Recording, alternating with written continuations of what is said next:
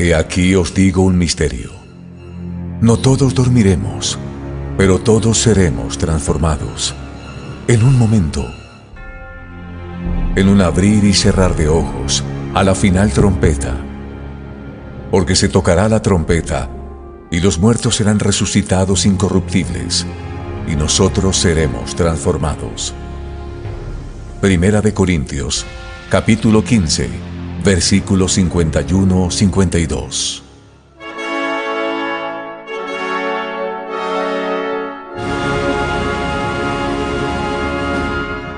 Bienvenidos a su programa A la final, trompeta. Con los pastores Nelson Zavala, Arturo Norero, David Diamond y Raimundo Ramos, anunciando y esperando el arrebatamiento de la iglesia de nuestro Señor Jesucristo. a la final trompeta. Bienvenidos. Muy buenas noches, Ecuador. Bauti, allá en Argentina. ¿Te gustó ese saludo, mijo? Un abrazo para ti, allá en Pergamino, Argentina, monstruo. Un saludo para todos los argentinos, un, un, saludo para todo el mundo, que Dios les bendiga grandemente. Bienvenidos a este programa, La Final Trompeta, que vamos justamente a proclamar las verdades de nuestro Señor. Un abrazo enorme a todos ustedes, un beso a mi mamá, a mi esposa, chicos, la familia, la parentela, por supuesto, mis muy amados hermanos de Casa de Oración, dile un amigo y a todos ustedes, hijitos de mi corazón, bienvenidos a este programa que viene con la dulzura, con el manjar del alma, del corazón de nuestro papito Dios a nuestros corazones para tener un día espectacular en este precioso día miércoles. Muy buenas noches y vamos a estar orando por Nicaragua. Tienen problemas, mi hermana Irma me escribe que allá no han decretado cuarentena y más bien quieren es que todo el mundo se contagie. La cosa está terrible. Vamos a estar orando por ustedes, mis muy amados, y vamos a clamar al Señor nuestro Dios. Muy buenas noches, el mundo entero. Vamos a empezar este tiempo glorificando el nombre de Dios, mis muy amados amigos Nelson, David y también Raimundo. Saludemos a todo el mundo. Bueno, buenas noches, buenas noches a todos nuestros hermanos. Un saludo cordial desde La Paz, Bolivia. Y ahí nuestro querido pastor Arturo Norero siempre eh, con ese carisma, con ese gozo que de verdad nos, nos contagia, nos, nos da esas fuerzas de seguir adelante, pues esta noche con el programa para adelante. Tenemos también la presencia del pastor Nelson Zavala. Pastor, buenas noches, buenas noches allá a ese lindo país Ecuador. Adelante, pastor. Buenas noches, que el Señor los bendiga y los guarde, que siempre el rostro de nuestro Padre Eterno resplandezca en cada uno de ustedes. Me siento feliz de poder saludarlos, bendecir a mi familia, a los miembros de nuestra iglesia Monte de Sion, a mis amados ministros y amigos Arturo, David, Raimundo, y a ustedes, mis amigos y hermanos, esa iglesia, iglesia, a esa congregación de estas 19 naciones que nos ven todas las noches de lunes a viernes. El Señor los bendiga rica y abundantemente. Amén, qué gozo. Quiero mandar un saludo a Argentina, a mi querido hermano Carlitos, un amigo que nos está escuchando todos los días. Él es argentino y les manda un saludo a todos ustedes, pastores amados desde Argentina. No nos saluda Argentina, dice el, hermano Carlos. Muy bien, también en esta noche vamos a dar lugar ya al doctor David Diamond. Doctor, buenas noches. Por favor, no se olvide saludar a las amadas suegras que siempre están esperando el saludo respectivo. Hola, ¿qué tal? Pastor Raimundo, Pastor Arturo, Pastor Nelson, ¿cómo están? Muy buenas noches, hermanos, hermanas y distinguidas suegras en el mundo entero. De verdad les mando un saludo, un agradecimiento a ustedes por sus oraciones. Mi mamá ya está un poquito más recuperadita. Estamos esperando ya que el resultado de los análisis para este viernes, pero va recuperándose la jefa, la jefa de las suegras ahí, la, la, la matriarca. Este, gracias por sus oraciones y también agradecerles a todos ustedes. Les recuerdo que Radio Waki nos reproduce, nos retransmite en Sao Paulo, Brasil, todos los días de 5 a 7 de la noche, hora de Sao Paulo. Eh, y también agradecer a todos nuestros hermanos que nos sintonizan en toda Centroamérica y lo de Nicaragua es una realidad. Es lamentable, desgraciadamente el gobierno no le ha importado nada esta situación. La gente está siendo obligada a trabajar en condiciones insalubres. Personas nicaragüenses me han comentado abiertamente que el gobierno les prohíbe usar mascarilla en el trabajo a los empleados, a los obreros. Los está exponiendo a una verdadera calamidad. Realmente lo que está pasando en Nicaragua es una situación muy lamentable. Están jugando con la vida, con la muerte, con la salud de todos. Es una pena. David, hay algo que hay que tomar en cuenta. Si tú analizas Nicaragua y todos los países en general, tienen un código que es el de la OMS. Si Nicaragua es un país que no ha sido afectado por el COVID-19, lo obligarán buscarán la manera de someterlo a los parámetros y protocolos de OMS, Organización Mundial de la Salud, que debería llamarse OMM, Organización Mundial de la Muerte, porque es una organización terrible, terrible, créemelo. Algún día haremos un programa para que nuestros amigos conozcan quién es la OMS, quién es el FMI, el Fondo Monetario Mundial, y cómo trabajan estos bandidos unidos para destruir, quebrar a los pueblos y luego someterlos como lo están haciendo actualmente. Pero bueno, ese es otro tema. En todo caso, adelante. Amén. Sí, sí, sí. Realmente va a ser muy interesante tocar esos temas, Pastor Arturo, Pastor Nelson Zavala, Doctor David Aymon porque el pueblo necesita saber esta información muy importante también, obviamente a la luz de la palabra de Dios. Esta noche vamos a empezar ya con el, con el mensaje, pero yo quisiera antes empezar con una oración y luego vamos a... Hay dos puntos que el doctor dejó ayer pendiente. Yo quisiera que usted desarrolle esos dos puntos para luego ya irnos a Jerusalén en la profecía bíblica, porque de esa manera ya se va a comprender cronológicamente todo lo que se está exponiendo estas noches en relación a Israel, en relación a Jerusalén ahora, esta noche. Pero esos dos puntos son necesarios exponerlos. Vamos a orar, por favor. Yo quiero pedirle, eh, Pastor Nelson, que nos dirija con la oración. Muy bien, vamos a orar. Amado Padre Celestial, bendito y alabado por siempre sea tu nombre. Oh Dios de Abraham, de Isaac y de Jacob, Dios de Israel, Dios y Padre nuestro. Tú eres bueno, mi Dios eterno. Con esa misma mano, Señor, que tú mides los cielos, con esa misma mano llena de poder y de amor y misericordia nos proteges del mal, Padre mío. Que en esta noche, bendito Dios, el nombre de tu amado Hijo Jesucristo sea glorificado y que tu Santo Espíritu nos guíe a toda verdad, Señor amado, quitando la venda en los ojos de todo aquel, Señor, que no pueda ver la única y verdadera palabra que es la tuya, mi Señor. Que al término de este programa muchas dudas hayan sido quitadas y que venga el conocimiento real y verdadero al corazón y la mente de cada uno de aquellos que están aquí predestinados en esta noche, Señor, para recibir la buena y agradable y perfecta voluntad tuya, mi Señor, a través de tu palabra.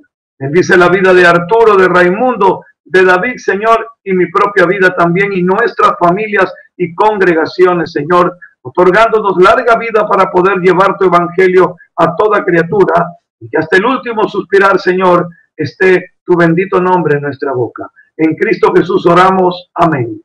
Amén. Amén. Amén. Eh, el día de ayer se salió un dato bien eh, increíble. 1.100 víctimas en un solo día en Brasil. Imagínense, en un solo día. 1.100 víctimas por el COVID-19. Bueno, es una tristeza ver muchos han muerto a consecuencia de, este, de esta pandemia. Doctor David, vamos a entrar por favor a desarrollar estos dos últimos puntos que ayer usted dejó pendiente, que es necesario poder explicar. Y aquí yo voy a tomar apuntes de todo lo que está explicando en relación a la profecía bíblica, en relación a Israel. Adelante, doctor.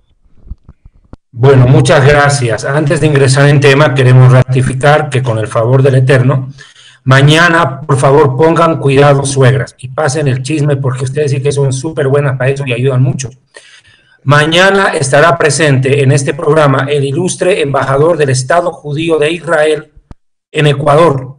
Estará presente en este programa. Le podremos preguntar acerca de los 72 años de Israel, su desarrollo histórico, tecnológico, el progreso, el futuro que le espera Israel no se puede perder la entrevista acá en el programa La Final Trompeta, en exclusiva, el embajador del Estado judío de Israel en Ecuador para compartir con nosotros.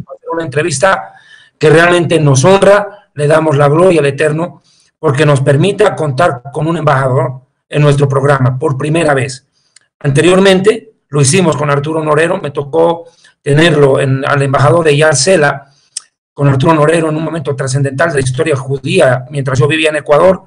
Después Arturo entrevistó a dos embajadores subsiguientes en su programa. A su vez el pastor Zavala invitó y cuenta con amistad con el actual embajador israelí en el Ecuador, a quien yo personalmente todavía no lo conozco, pero de quien tengo excelentes referencias por medio de mi cónsul, el cónsul de Israel en Bolivia. De verdad, un gusto va a ser compartir con él. Por favor, pasen la voz, mejor dicho, el chisme. Así que el don de lengua tiene que funcar a todo. Ahí si Rambo saca la bazuca, revanga la banga, quema la rama seca y salta la baranda y bunga, bunga, rabarraba, hermano. Qué terrible. con esa unción, mejor dicho, la barba se encrespa, se encrespa la barba de Arturo. Doctor, después de que exponga estos dos puntos, vamos a dar por favor la introducción al, al pastor Arturo Novero para que podamos entrar ya a lo que es Jerusalén en la profecía. Sí, señor, no se preocupen. Para de sufrir, amigo mío. Esta noche nos comenzamos aquí. Hay una cosa más que voy a decir antes de entrar. Me escribió un hermano hoy día y me decía, qué curiosa es la vida, David. Dos países que uno a veces no, no los piensa, Ecuador y Bolivia, nos están dando tanta palabra de Dios. No lo hubiéramos esperado, no, ni se nos hubiera ocurrido. Qué bendición, dos guayaquileños y dos paseños, dos guayacos y dos collas acá predicando la palabra de Dios al mundo entero. Bendito sea el Dios de Israel. Vamos al punto, dijo, vamos al grano, dijo el dermatólogo y también la gallina. Ayer quedó un tanto a desarrollarse y era la restauración espiritual del pueblo judío. Ayer vimos Ezequiel capítulo 37, el Valle de los Huesos Secos, y habíamos hablado de la resurrección física de la nación que emerge de la sepultura.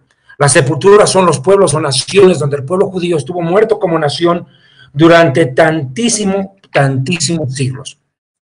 Hoy Israel es una realidad, pero esto no basta. Pero voy a ir al punto con el pastor Zavala para que me coopere. Ezequiel 37, 12 y 13, por favor.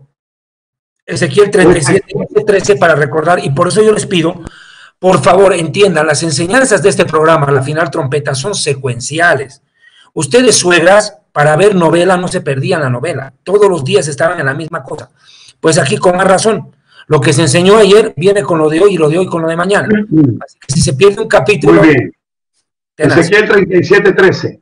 Ah, sí, sí, 12 y 13. 12 y 13. Perfecto. Vamos a ver. Por tanto, profetiza y diles, así ha dicho el Señor. He aquí yo abro vuestros sepulcros, pueblo mío, y os haré subir de vuestras sepulturas y os traeré a la tierra de Israel.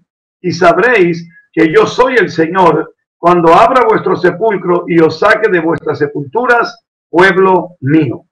En este pasaje dos veces la declaración pueblo mío le dejan claro al mundo entero que Dios nunca desechó al pueblo judío. Lo recalco una vez más. Dios insiste en llamarlo pueblo mío. Como dice el apóstol Pablo en Romanos, son rivales en cuanto al Evangelio, pero amados a causa de los padres. A causa de Abraham, de Isaac y de Jacob y del pacto que Dios hizo con los patriarcas, Israel es amado por Dios, protegido por Dios.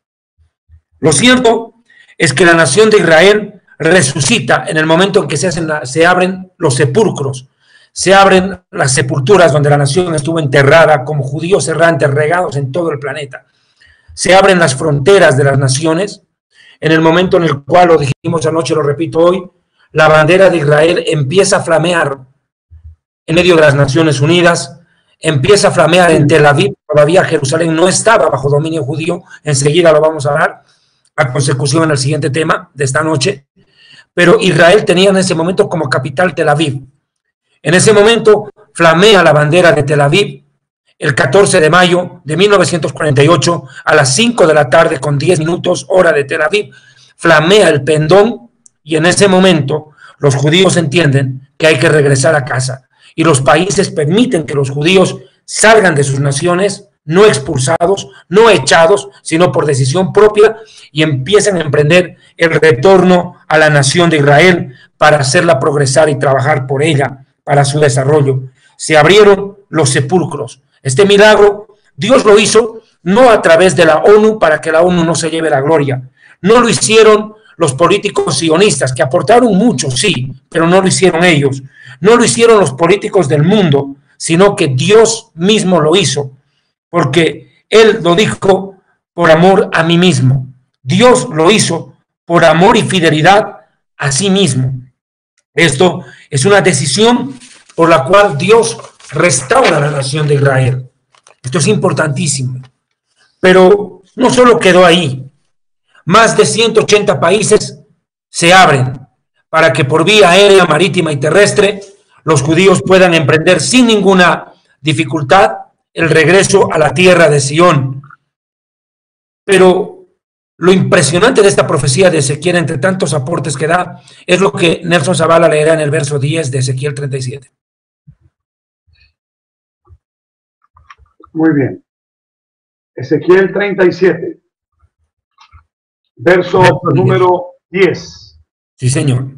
Y profeticé como me había mandado, y entró espíritu en ellos, y vivieron y estuvieron sobre sus pies un ejército grande en extremo. Eso es lo que pasó. La nación resucita, multitudes de judíos se, se ponen en pie. Se levanta una gran cantidad de judíos entre todas las naciones del mundo. Entró el aliento de vida normal, volvieron a la vida como pueblo y era una tremenda multitud, incalculable multitud. Y entendieron que después de más de, de casi dos mil años llegaba el momento de retornar a casa. Y mira la promesa en el verso 21, por favor. Así como fue multitudinaria la resurrección, la aparición de judíos de todas las naciones queriendo regresar a su tierra, mira lo que dice el 21, 22 y 25.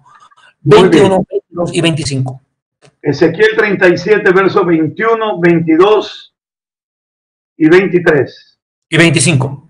Y 25. Y les dirás, así ha dicho el Señor, he aquí yo tomo a los hijos de Israel de entre las naciones a las cuales fueron, y los recogeré de todas partes y los traeré a su tierra.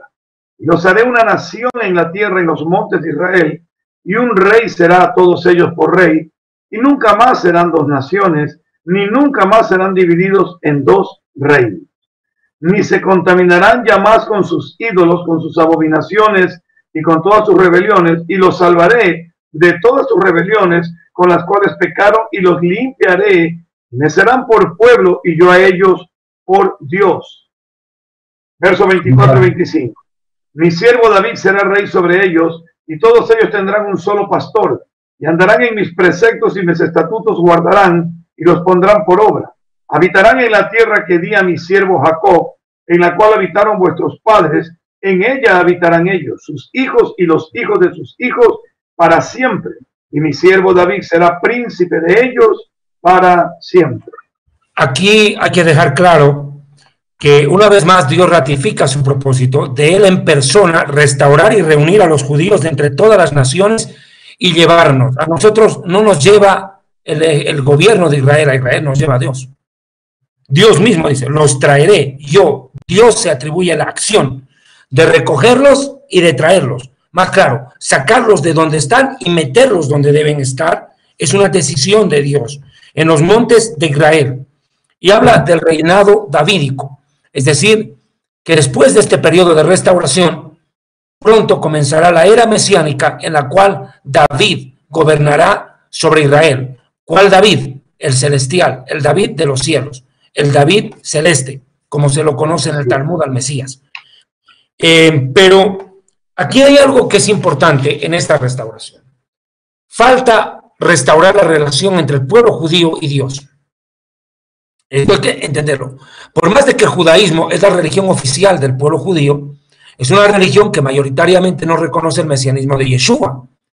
Y Dios está prometiendo que hará una restauración total. Dios no se mete a hacer las cosas a medias. Dios dice por partes, vamos por etapas, pero el fin es este y nadie lo va a detener. Lo que yo hago nadie lo estorbará, dijo el profeta Isaías. Dios hablando a través de Isaías, mejor dicho. Y ahora viene aquí un detalle bastante importante.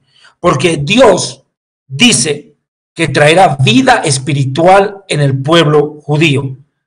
Esto es reconciliación total entre todos los judíos y el Dios de Israel a la manera de Dios. Eso involucra aceptación del Mesías. Vea, por favor, versos 5, 6. Después yo le digo. 37? 37, 5, 6. Ok, bien. Así ha dicho el Señor a estos huesos. He aquí yo hago entrar espíritu en vosotros y viviréis. Pondré tendones sobre vosotros y haré subir sobre vosotros carne y os cubriré de piel y pondré en vosotros espíritu y viviréis y sabréis que yo soy el Señor. Dios promete poner su espíritu en medio de su pueblo. Y la única forma que el Espíritu Santo entre a vivir en un corazón es que ese corazón acepte el plan de salvación del Eterno. Versos 10, por favor, y luego el 14, no al 14, 10 y 14, por favor. Ya.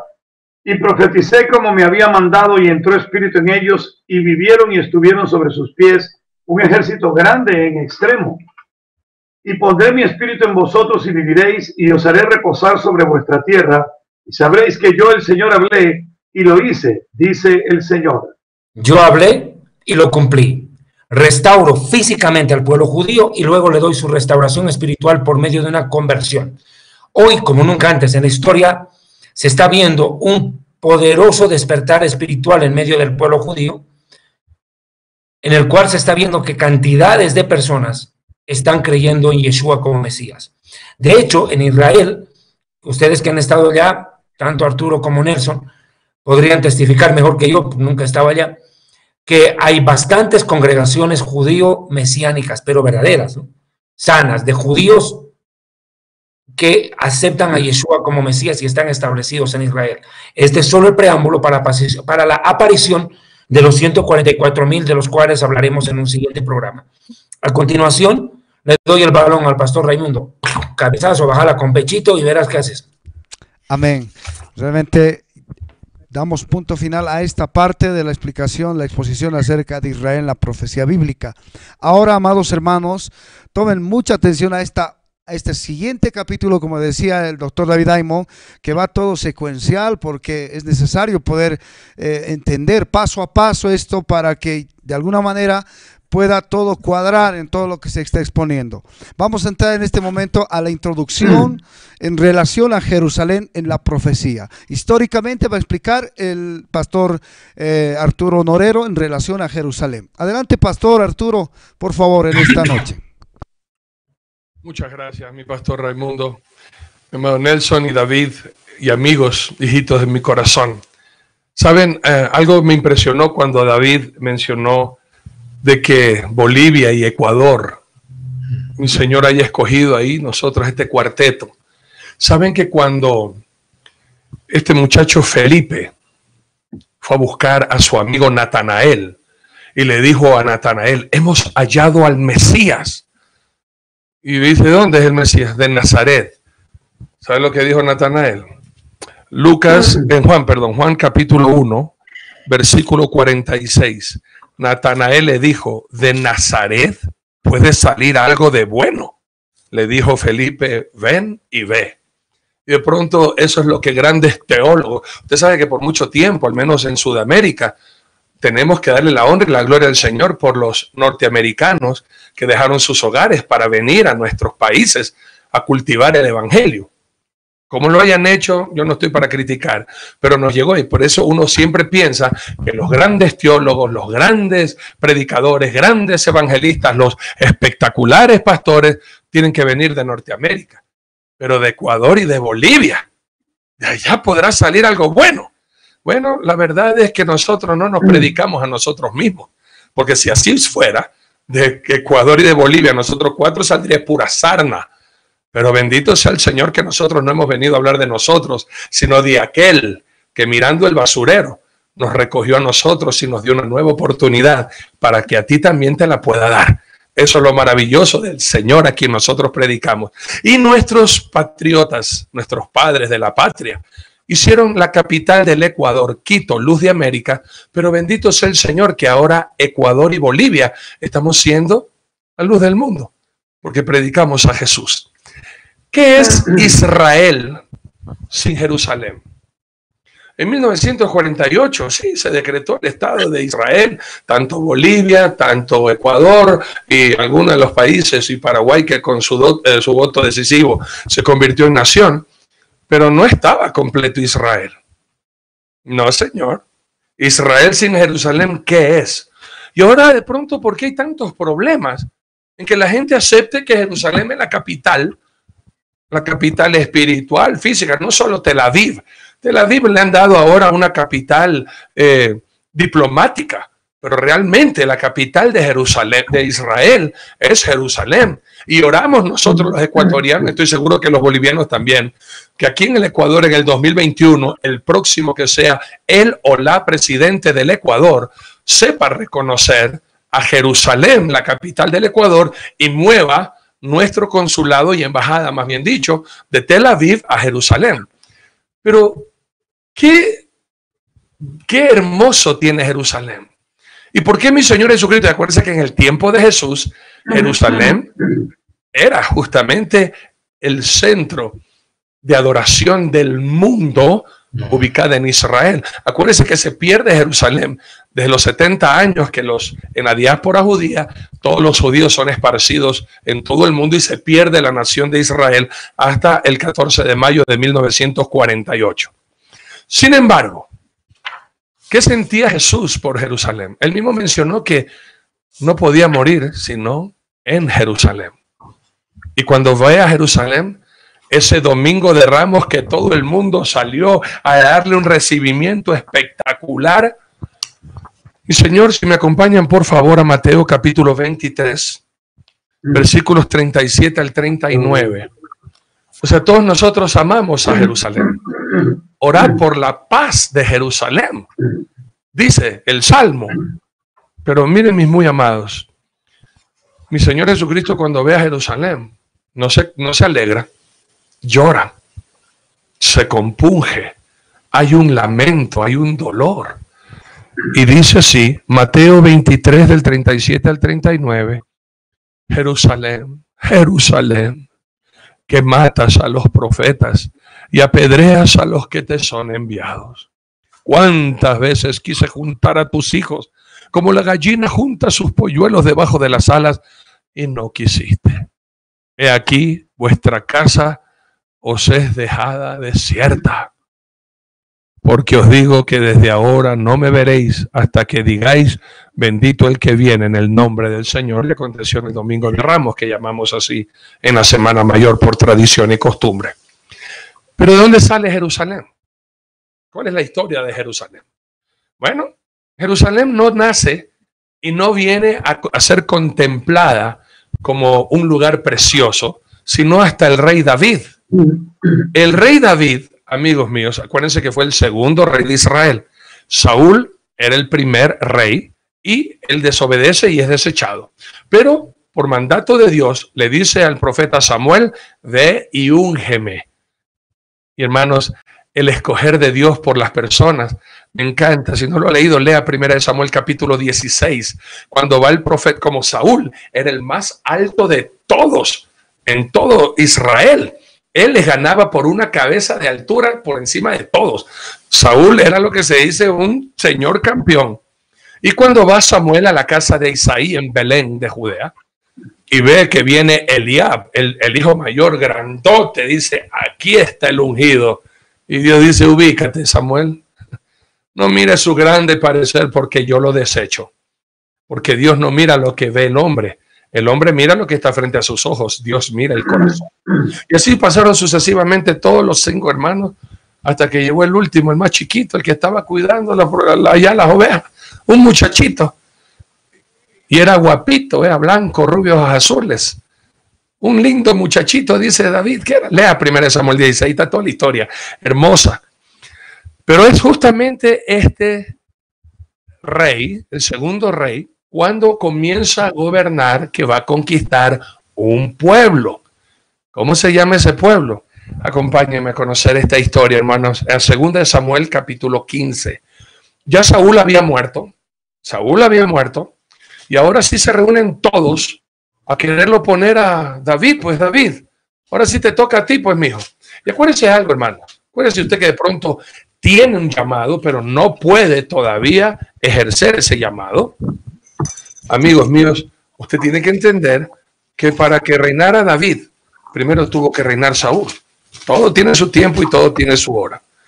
Pero, segundo Samuel capítulo 5, perdón. Segundo, segundo libro de Samuel. Permítame leer primero la primera parte para que podamos entender. Vamos a leer del 1 al 10. Pero ¿qué pasa? Acuérdense que nadie quería aceptar el reinado de David. Nadie lo quería. Israel, las diez tribus, siempre estaban mm, un poquito en desacuerdo y las dos tribus inferiores, que era justamente Judá y Benjamín, siempre estuvieron ahí apoyando a David. Mire esto. Vinieron todas las tribus de Israel a David en Hebrón, que Hebrón queda más o menos 30 kilómetros al suroeste de, de Jerusalén. Está cerquita. Y ahí estuvo reinando primeramente David, pero después mire lo que pasa. Y hablaron diciendo, enos aquí hueso tuyo y carne tuya somos, como hablaba justamente ahora lo que es Israel ese valle de huesos. Y ahí está, huesos y carne. Y aún antes de ahora, cuando Saúl reinaba sobre nosotros, eras tú quien sacaba a Israel a la guerra y lo volvías a traer. Eh, hago un paréntesis aquí. Esta gente viene a adular a David. A adular. Mientras David estaba, mientras Saúl vivía, todos los ancianos lo creían a David una sarna por hacerse al rey. Se muere el rey, ahora sí, Dovichito es la mejor, es la última Coca-Cola helada en el desierto. Pura adulación. Sigo leyendo entonces en el 2. Además, Jehová te ha dicho, tú apacentarás a mi pueblo Israel y tú serás príncipe sobre Israel. Vinieron pues todos los ancianos de Israel al rey en Hebrón, y el rey David hizo pacto con ellos en Hebrón. Nótese que hace pacto con hombres, no hace pacto con Dios. El hombre no pacta con Dios. A usted si le dicen pacte con Dios, eso es cuento. Hicieron pacto entre hombres con ellos en Hebrón delante de Jehová y ungieron a David por rey sobre Israel. Era David de 30 años cuando comenzó a reinar y reinó 40 años. En Hebrón reinó sobre Judá siete años y seis meses y en Jerusalén reinó 33 años sobre todo Israel y Judá. Aquí se nombra Jerusalén por primera vez. ¿Cómo así? ¿Y dónde estaba antes? Bueno, Ahora vamos a entender un poquito. Ayer David dijo algo muy interesante. El sionismo que viene de Sión. ¿Qué es eso? Vamos a ver ahorita. Sigamos leyendo del 6 al 10. Entonces marchó el rey con sus hombres a Jerusalén. Ah, no estaba, no era parte de Israel. No era parte de Israel. Aquí recién el rey David va a marchar en guerra contra Jerusalén contra los jebuseos que moraban en aquella tierra, las cuales hablaron a David diciendo, tú no entrarás acá, pues aún los ciegos y los cojos te echarán. Queriendo decir, David no puede entrar acá. Pero David tomó la fortaleza de Sión, la cual es la ciudad de David. Y dijo David aquel día, todo el que hiera a los jebuseos, suba por el canal y hiera los cojos y ciegos aborrecidos del alma de David. Por esto se dijo, ciego ni cojo no entrará en la casa. Y David moró en la fortaleza y le puso por nombre la ciudad de David. Ese es Jerusalén. Esa es la fortaleza de Sión. Y edificó alrededor desde Milo hacia adentro. Y David iba adelantando, engrandeciéndose. Y Jehová, Dios de los ejércitos, estaba con él.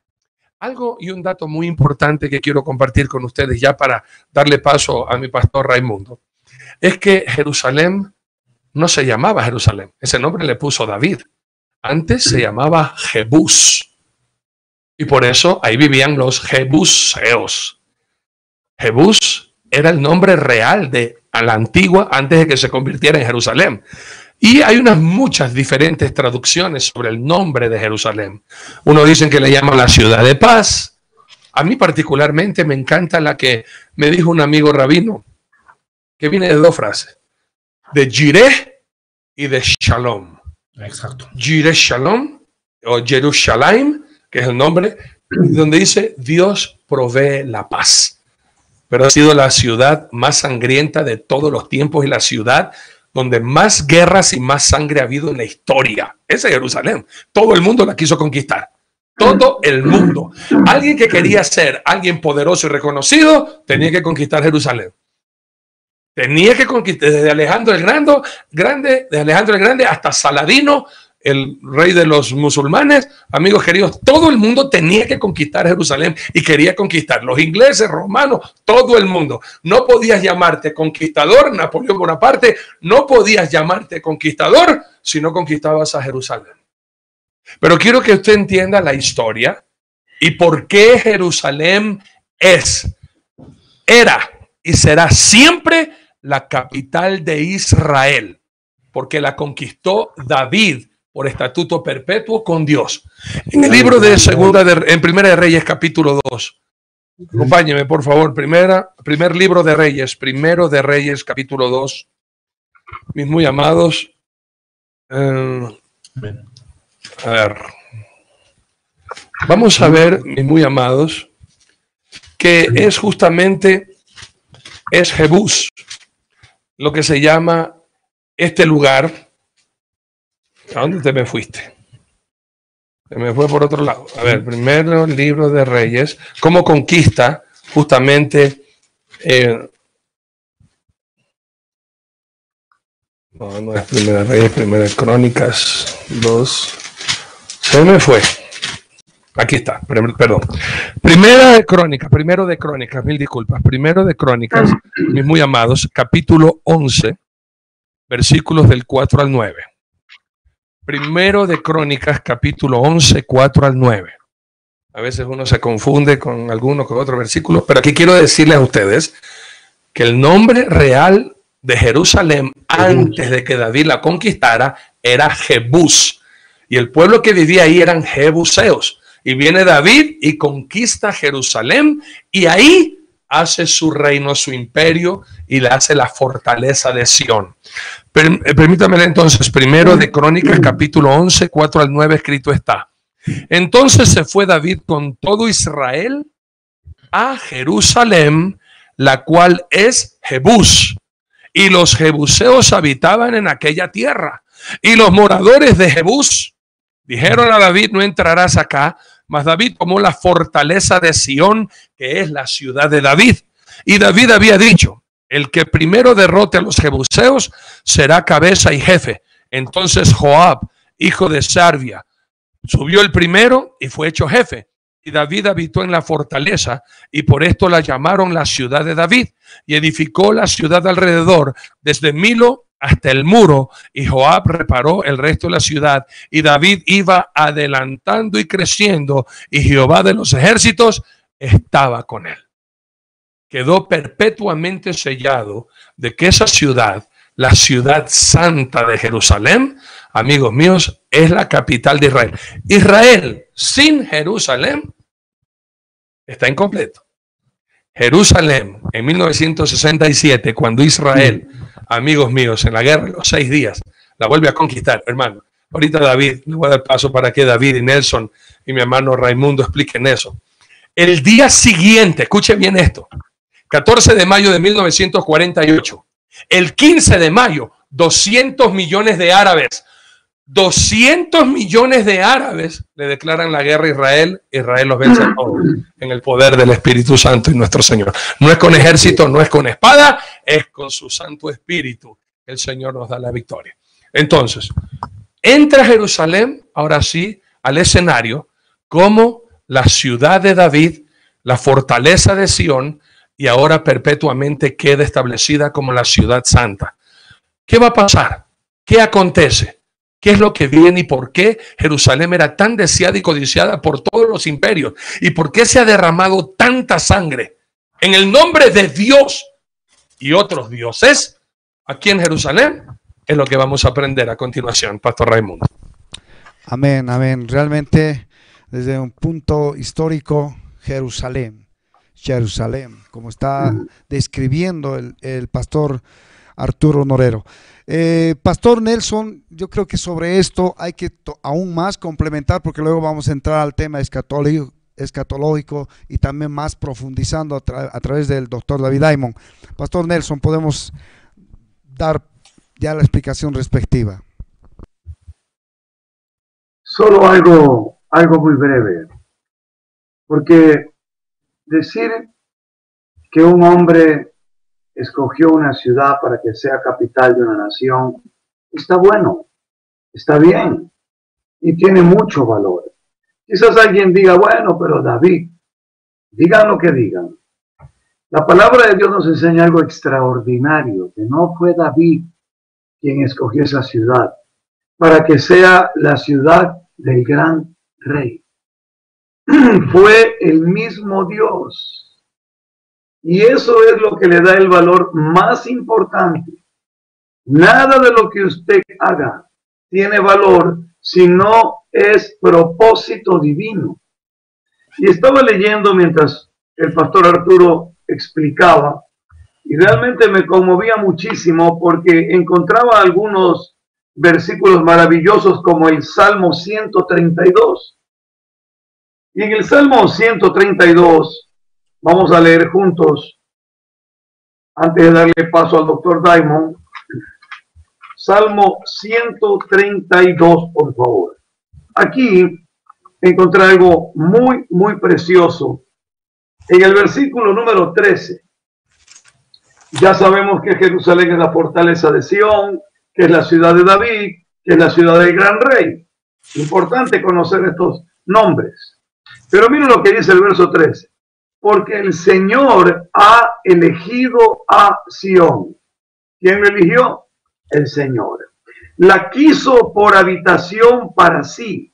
Este es para siempre el lugar de mi reposo, aquí habitaré porque la he querido.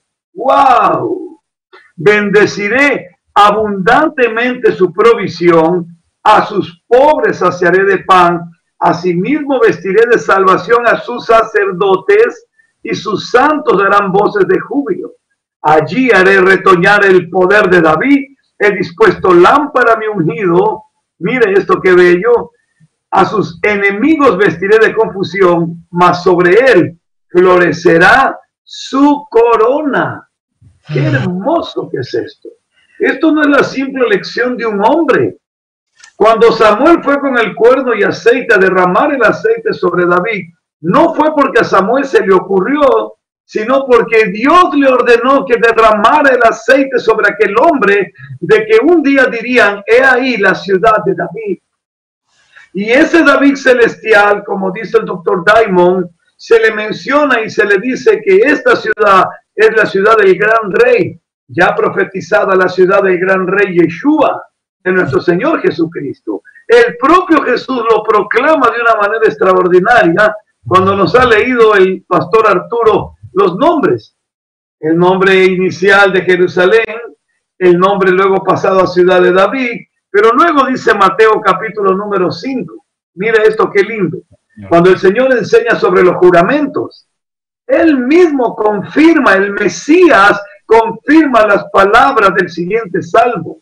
Dice, verso 34, pero yo os digo, no juréis en ninguna manera, ni por el cielo, porque es el trono de Dios, ni por la tierra, porque es el estrado de sus pies, y no juren ni por Jerusalén, porque es la ciudad del gran rey. ¡Qué belleza! Ahora, ¿por qué él estaba confirmando esto? Él estaba dando una cita bíblica en el Salmo 48, verso 1 y 2. Vamos a verlo. Salmo 48, verso 1 y 2. Es decir, que el Mesías viene y confirma lo que ya estaba escrito en este cántico del Salmo de los hijos de Coré. Dice el verso 1 y el 2, grande es el Señor y digno de ser en gran manera alabado. En la ciudad de nuestro Dios, en su monte santo, hermosa provincia, el gozo de toda la tierra, es el monte de Sión a los lados del norte, la ciudad del gran rey. A los lados del norte suena curioso, ¿verdad? porque ahí mismo es donde se instala el diablo y quiere agarrar a Jerusalén. Pero mire usted, la ciudad del gran rey.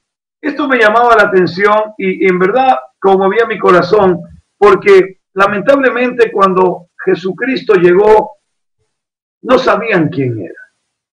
llega a lo suyo vino y los suyos no le recibieron. Él vino a su ciudad, él vino, él es el rey, él, es, la ciudad esa de David, es la ciudad de Jesucristo, del rey. Vea usted esto lo que decía el doctor Diamond, el David celestial, el Yeshua, es el Mesías.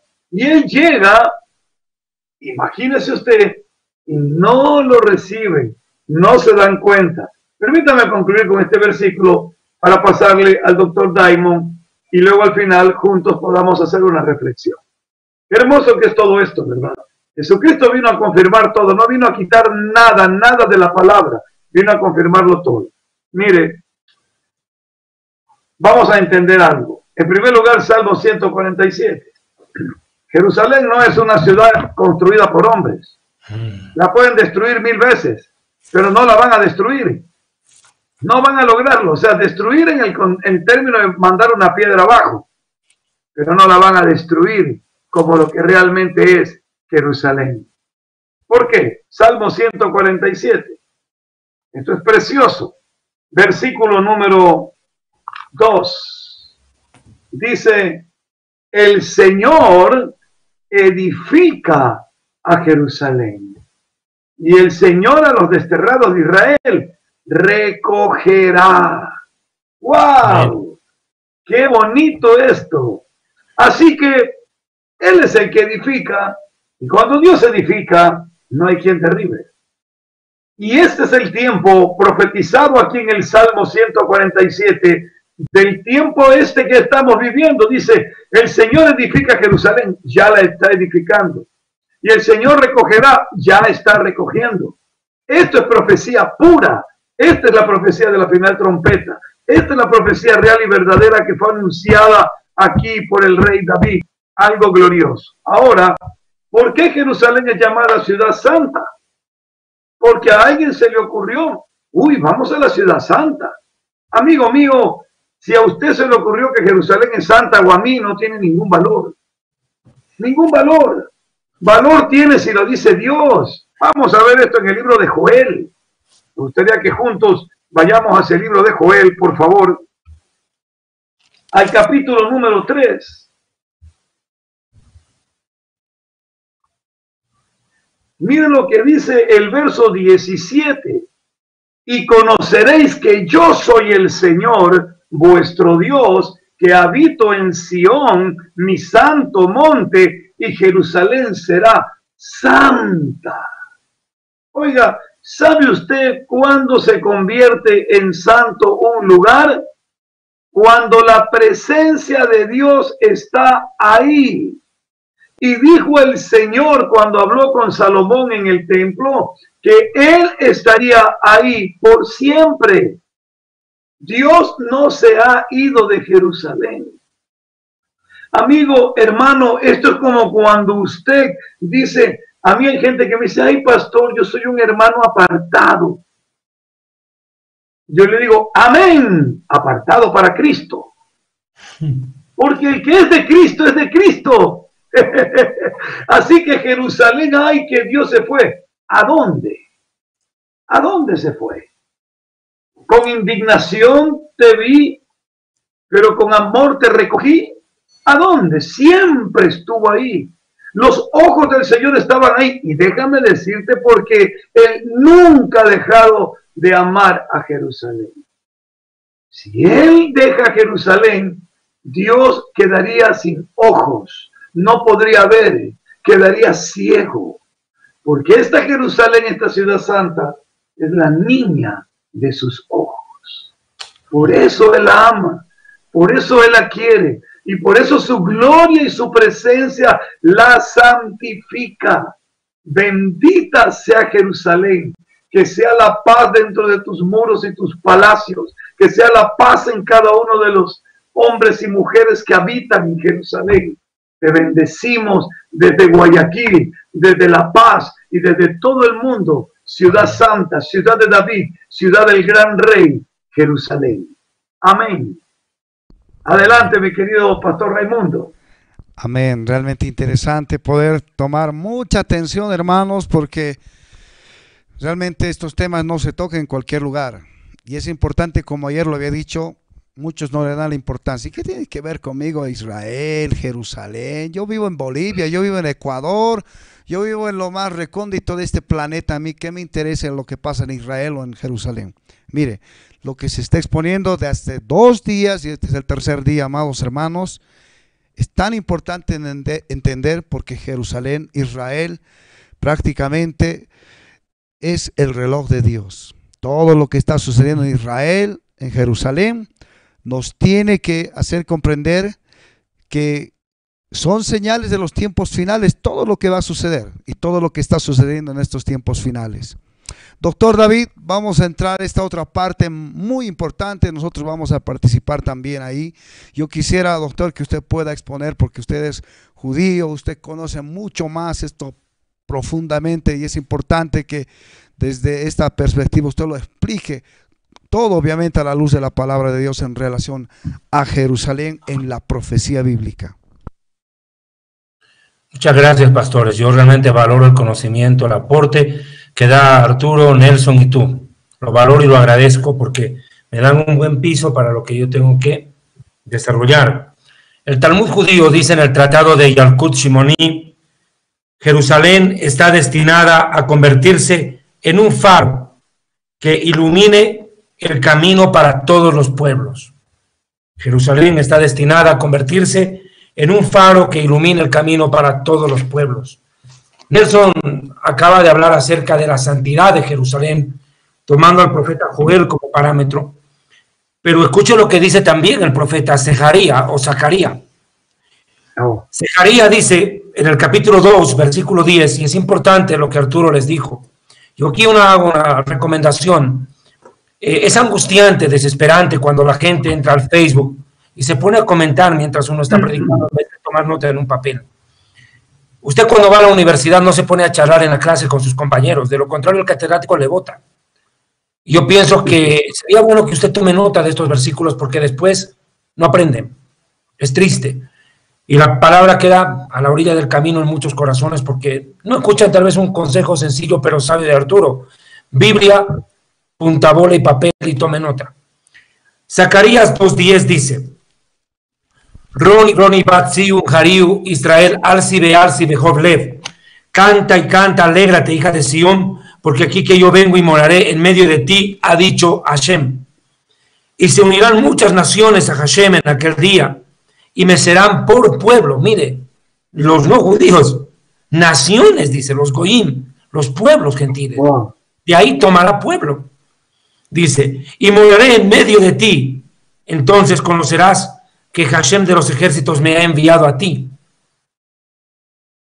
Y el Señor procederá a Judá, su heredad, en la tierra santa. Escuche esta declaración. Es de hecho el único versículo en toda la Biblia donde Jerusalén es llamado tierra santa como se la conoce hoy.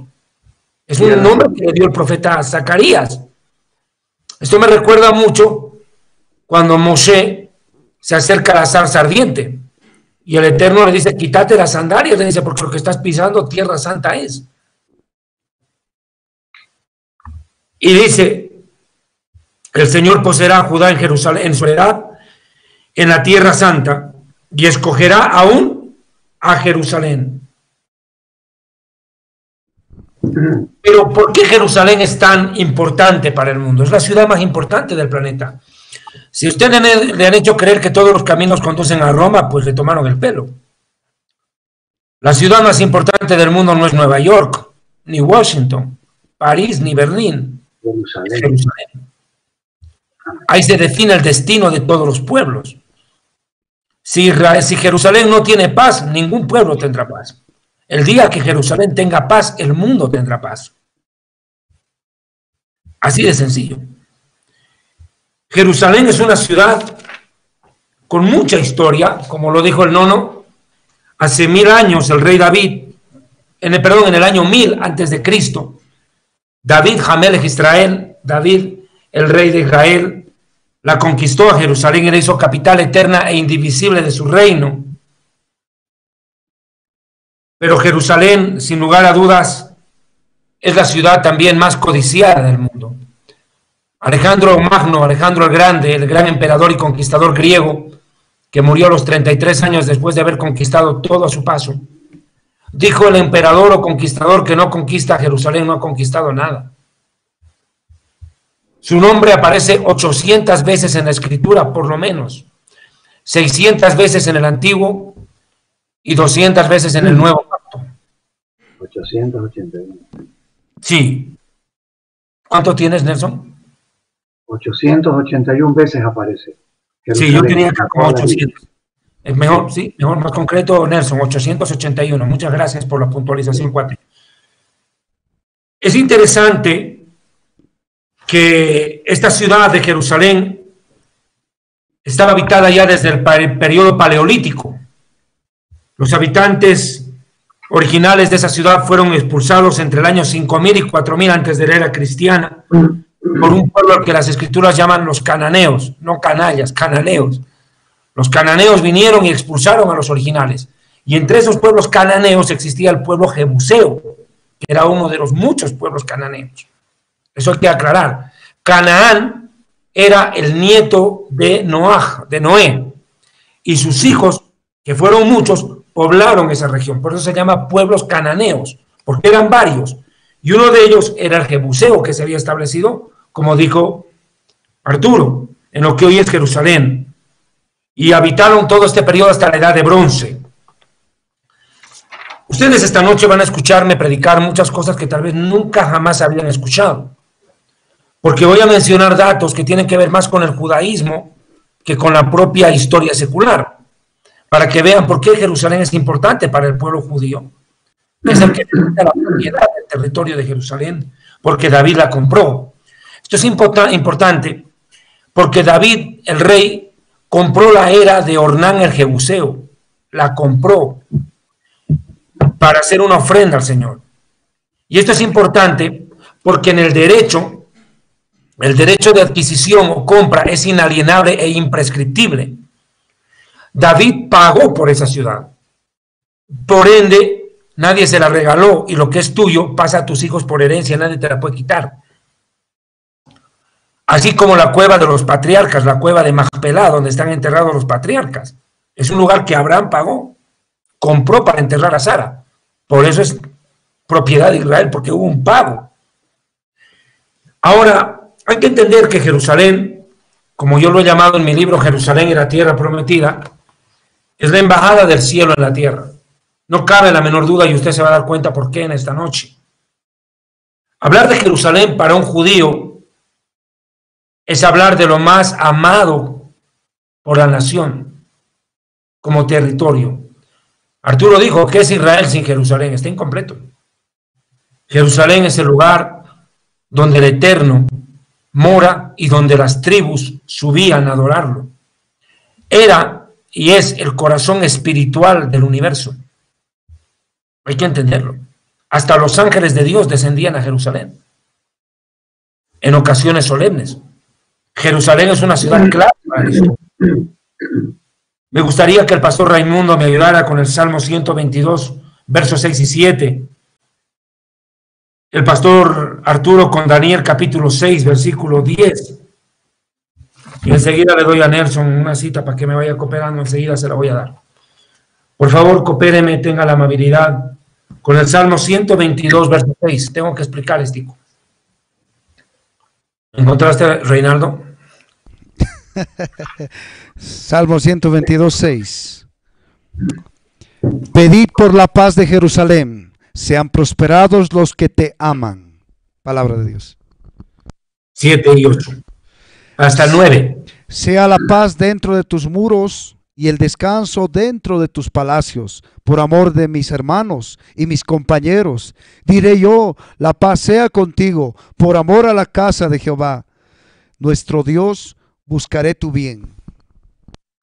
La paz del mundo depende de la paz de Israel, pero ¿qué tiene Jerusalén de especial? El verso 5, Raimundo. El 5 más. Porque allá están las sillas del juicio, los tronos de la casa de David. Increíble. Aquí quiero explicar esto. Jerusalén es codiciada porque el trono de Dios en la tierra está en ese lugar.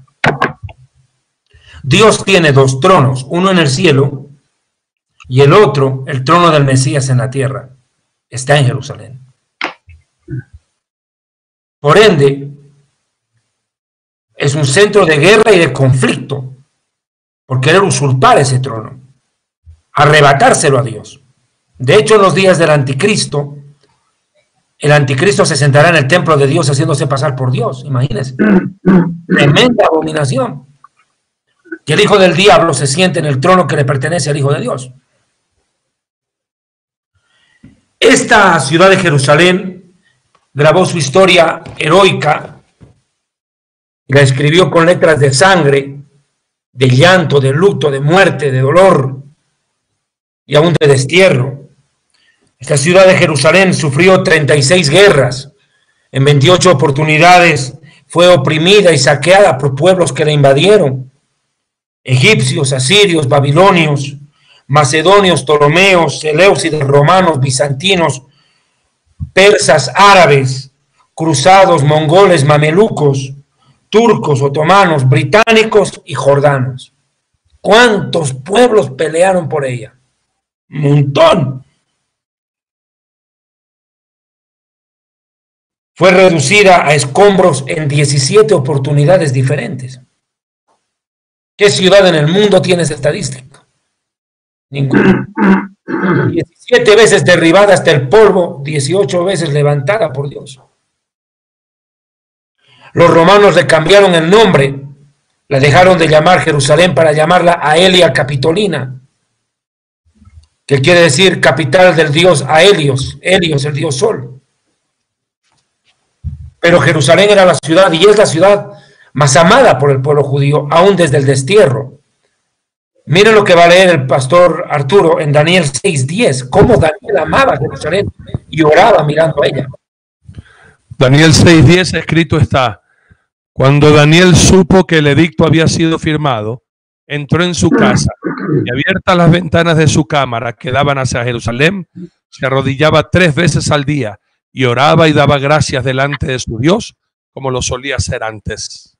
Como todo judío hoy en la sinagoga, las sinagogas están ubicadas mirando a Jerusalén desde cualquier parte del mundo. El arca sagrada, el Aron Jacodes, donde se guardan los rollos de la Torah, están colocados en la pared que apunta a Jerusalén, para que todo judío al rezar mire para allá. Tres veces al día. Shaharit, Arvid y Minja, los tres rezos, el matutino, el vespertino y el de la noche. Y Daniel oraba las tres veces al día mirando a Jerusalén. Esta ciudad, Jerusalén, es tan importante, Nelson, que Dios fundó el mundo a partir de ella. Vea por favor Job 38, 4 al 6.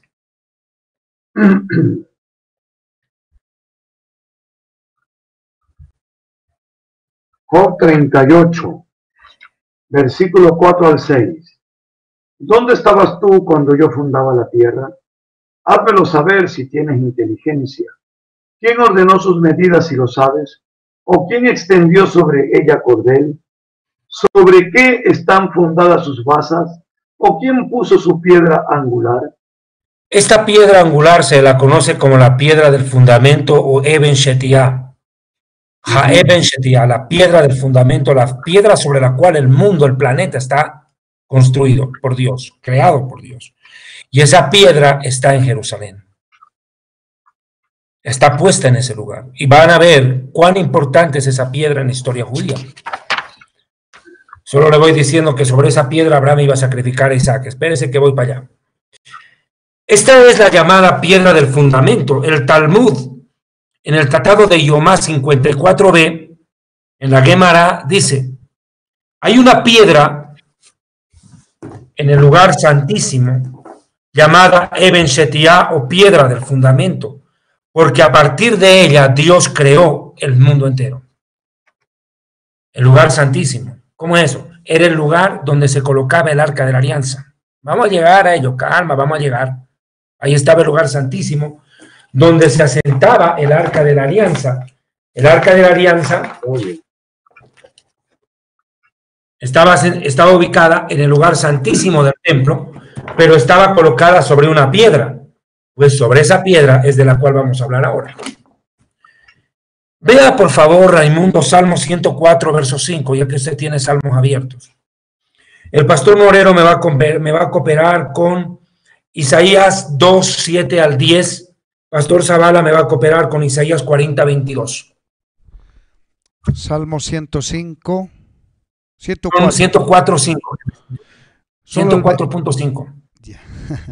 Él fundó la tierra sobre sus cimientos, no será jamás removida.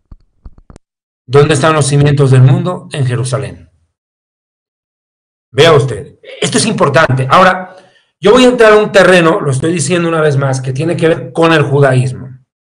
Yo quiero que ustedes entiendan en este programa cómo ve un judío Jerusalén. Ustedes como cristianos, y yo también como creyente en Jesús, el Mesías, la veo como lugar donde el Mesías predicó, murió y resucitó, y de donde ascendió al cielo. Claro que sí. Pero ¿cómo la ve un judío? Yo quiero que usted lo entienda. Mire, cuando Dios crea al primer ser humano, dice que recogió polvo de la tierra para formar al primer ser humano. De acuerdo a la tradición judía, Dios tomó polvo que estaba sentado sobre la piedra del fundamento y con ese polvo fundó, formó al primer humano.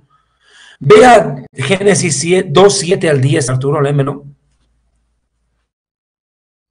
Génesis 2, del 7 al 10 escrito está y dice así. Entonces Jehová Dios formó al hombre del polvo de la tierra y sopló en su nariz aliento de vida. Y fue el hombre un ser viviente. Bien, ahora yo voy a leer lo que dice la traducción aramea, el Targum pseudo Jonatán, a este mismo versículo. El Eterno creó a Adán. Aclaro que el nombre en hebreo es Adam, con M. Adam, no Adán, Adam, que viene de Abraham, David y Mesías. Están ahí los tres nombres. Tomando polvo del lugar donde siglos después estaría edificado el templo. Sopló entonces el Eterno en sus narices aliento de vida, y el aliento dentro del cuerpo de Adán se convirtió en espíritu capaz de hablar, para iluminar los ojos y hacer oír con los oídos. Traducción pseudo Jonathan al arameo. Traducción al arameo. O sea, toma polvo de sobre esa piedrita y de eso forma el primer humano y le da vida. Y empieza a mover los brazos y abrir los ojos, a hablar y oír y mirar. Los cinco sentidos y conciencia funcionan de una.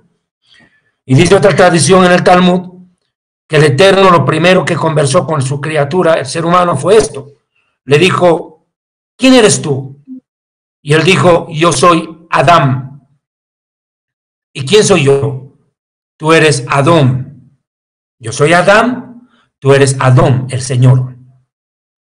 ¿De dónde viene Adonai? Adán, Adón. Por la vocal se diferencia la pronunciación. Ahora, ¿qué ocurre con Jerusalén en la historia? A lo largo de la historia, perdone la redundancia, se ha discutido sobre la forma del planeta y aquí quiero hacer una salvedad. Hoy en día, muchos cristianos en las redes sociales se insultan, se agreden, se maldicen, se echan la madre encima de todo, terrible, grosero. Yo lo he visto. ¿Y cuál es el tema en debate? La tierra es plana, la tierra es redonda. La tierra es plana, la tierra es redonda. Como si eso los fuera a salvar. Bueno, para todo hay. Mire lo que dijo Isaías 40, verso 22 y 21 y 22. Lea, Pastor Nelson, le toca a. ¿No sabéis? ¿No habéis oído?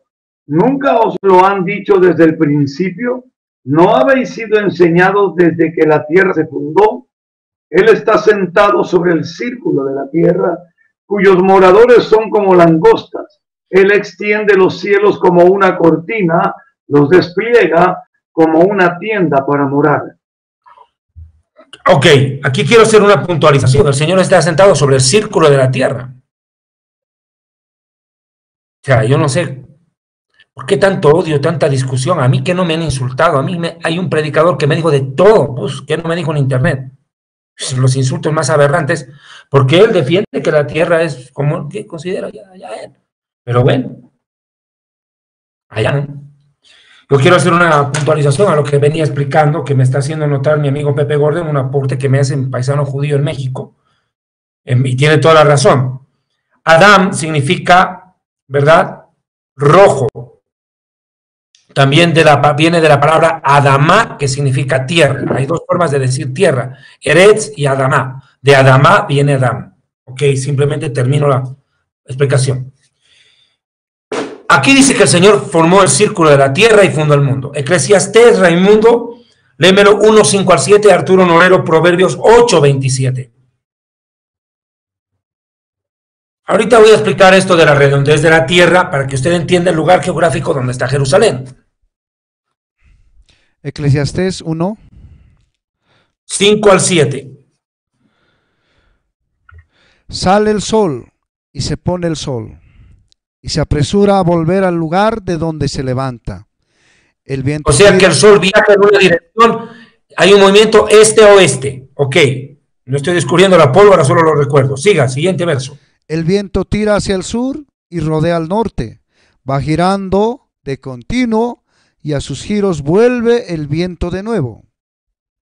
O sea que el norte va norte-sur y el sol va este-oeste. Es interesante.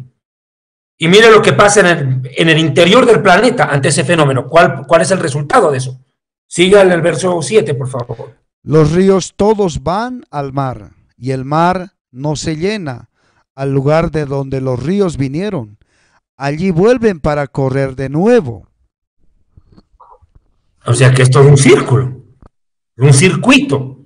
El sol este-oeste, el viento norte-sur y todos los ríos y el mar ahí dentro dando vueltas como en una licuadora. Es interesante cómo funciona la Tierra. Es muy interesante, muy llamativo cómo Dios hace funcionar este planeta. Y el pastor Zavala, creo que no, 8.27, ¿a quién le toca? Proverbios. Proverbios 8:27. Cuando formaba los cielos, allí estaba yo. Cuando trazaba el círculo sobre la faz del abismo. El círculo sobre la faz del abismo. Por eso el Tanjumá 106, un comentario rabínico, dice lo siguiente. Israel se encuentra en el centro del planeta y Jerusalén está en el centro de Israel. Qué interesante. Si uno revisa la geografía antigua, se creía mucho en la Pangea. ¿Qué era la Pangea? Explico. Era la concepción antigua y correcta, por cierto, que todos los continentes en algún momento estuvieron unidos entre sí. No había división continental. El planeta Tierra era circular, rodeado de agua, pero el centro era tierra en un solo bloque en común. Usted lo puede constatar viendo el mapa de Brasil y el mapa del África. Y verá usted que en algún momento esos dos estuvieron juntos. Encajan como un perfecto rompecabezas. Y verá usted y que esto demuestra la Pangea, pero no solo este detalle, Nelson y hermanos, que si usted mira ahora a Jerusalén, Jerusalén está en el centro de tres continentes, ahorita como tal. Tiene al norte Europa, sur África y tiene al este el Asia. Es interesantísimo esto. Se confirma lo que Ezequiel 5.5. ¿Usted, Nelson, me lo puede leer, Ezequiel 5.5? Ezequiel 5.5. Sí, Así ha dicho el Señor esta es Jerusalén. La puse en medio de las naciones y de las tierras alrededor de ella. Muy interesante esto. Jerusalén es el ombligo del mundo, no es el Cusco. Ah, claro, para, con respeto para mis hermanos peruanos, para mis patas, chocheras, causas. Habla barrio Pepata. El centro del planeta no es el Cusco, es Jerusalén. Y aquí lo está diciendo es el centro del mundo, del planeta. Ahora, ¿qué papel profético juega esta ciudad? Vamos a ver un poco la historia de un hombre llamado Melchizedek, este personaje bíblico trascendental en la historia. Pocos versículos, pero mucha importancia. Mire lo que dice en Génesis capítulo Arturo 14 del 18 al 20. Vamos a hablar de Melchizedek. Voy a explicar un poquitito acerca de él con la ayuda de ustedes, porque este personaje tiene una trascendencia, trascendencia importantísima. Génesis capítulo 14, versículos del 17 al 24. 18 al 20, entiendo. 18 al 20.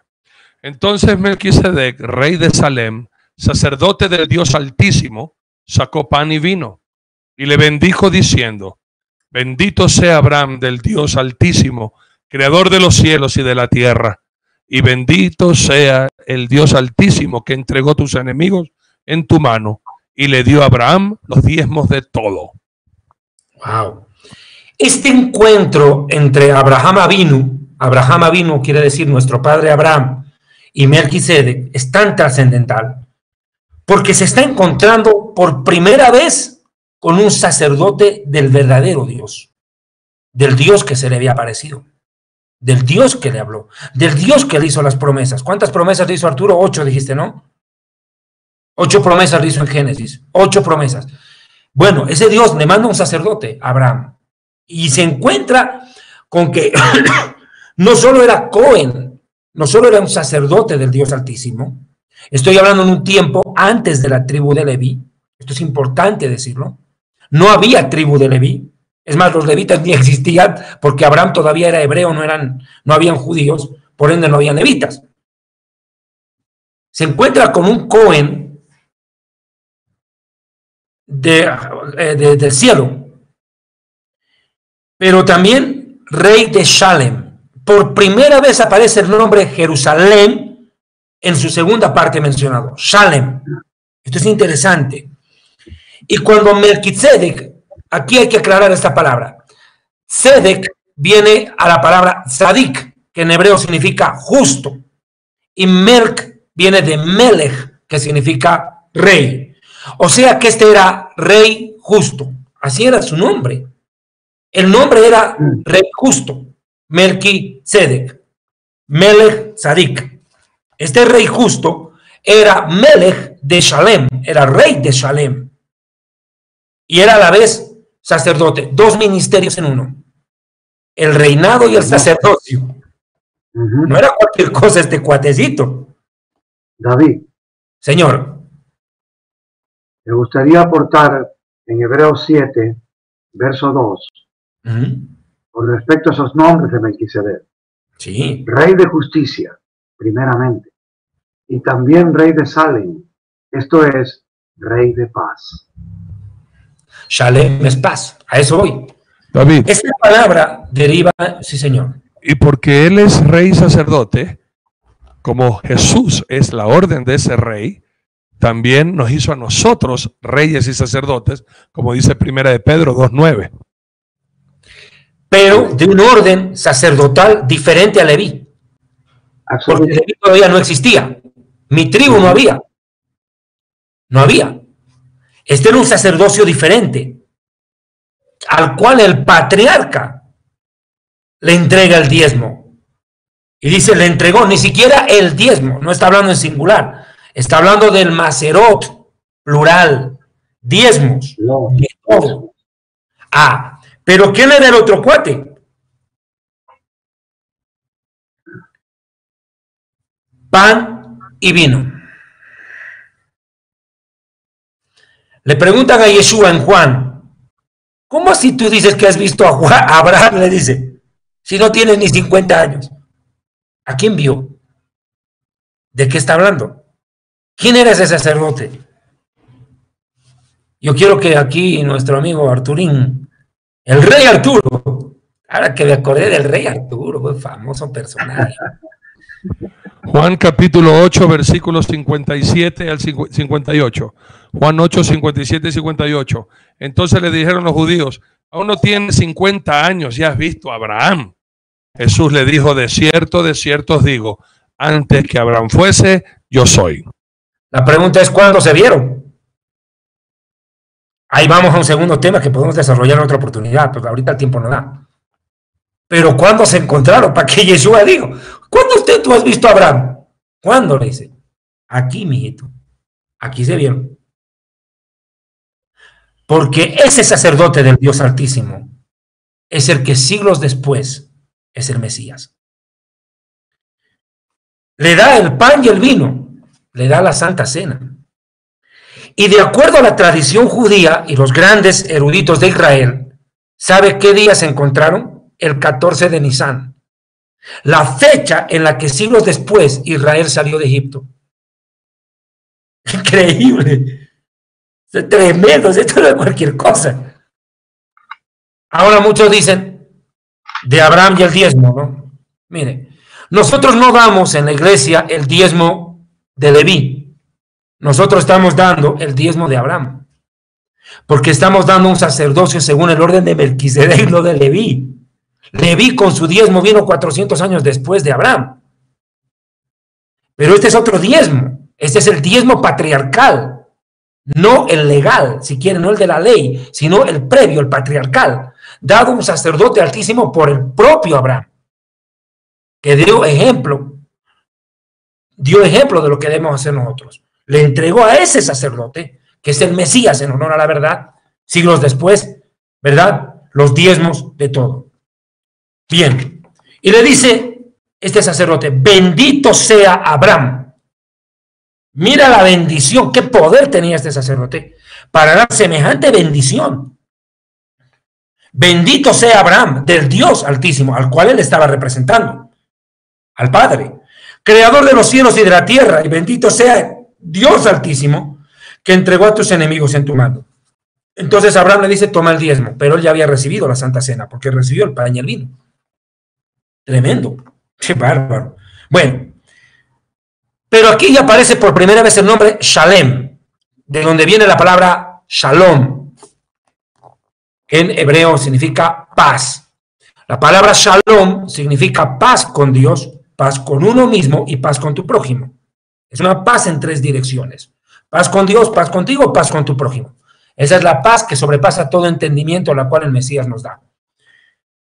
Ahora bien, y la paz de Dios que sobrepasa todo entendimiento guardará vuestros corazones y pensamientos en el Mesías Jesús. ¿no? Sí. Filipenses capítulo 4, versículos 6 y 7. Gracias. Gracias. Es lo bueno de hacer un programa entre cuatro, porque uno queda colgado y el otro lo sabe. Gloria a Dios. Bueno, bueno, pues esa barba querubínica no en vano, pues. Pero David, David, me permites un ratito. La primera vez que quien le pone ese nombre, el Dios de paz, es nada más y nada menos que Gedeón. Gedeón, va a ser un altar, jueces capítulo 6, versículo 24. Juan 6, 24, y edificó allí Gedeón altar a Jehová y lo llamó Jehová Shalom, el cual permanece hasta hoy en otra que de los abieseritas. Jehová es paz. Ok, vamos al punto. Gracias, muy amable el aporte. Cuando Adán y Eva pecan, ellos ofrecen, luego de que Dios ofrece el primer sacrificio, aprendieron que tenían que hacer sacrificios, pero Dios les dijo dónde y cómo. Eso es judaísmo, ¿no? Lo voy a explicar. Mire, Adán y Eva, tras haber pecado, vieron como el Señor mismo tuvo que realizar el primer sacrificio a favor de ellos. Ellos estaban desnudos. Después se cubrieron con hojas de higuera, entendiendo que al yo no voy a entrar en la, que la manzana, no la manzana. Las concepciones rabínicas antiguas también tejen sus conclusiones al respecto y entienden que lo que se comió fue fruto de la higuera, porque el ser humano por psicología siempre busca la solución en el lugar donde metió la pata. Como pecó con la higuera, con las mismas hojas se quiso cubrir. Dice una opción. Yo no voy a entrar en debate, eso a mí no me viene y me va.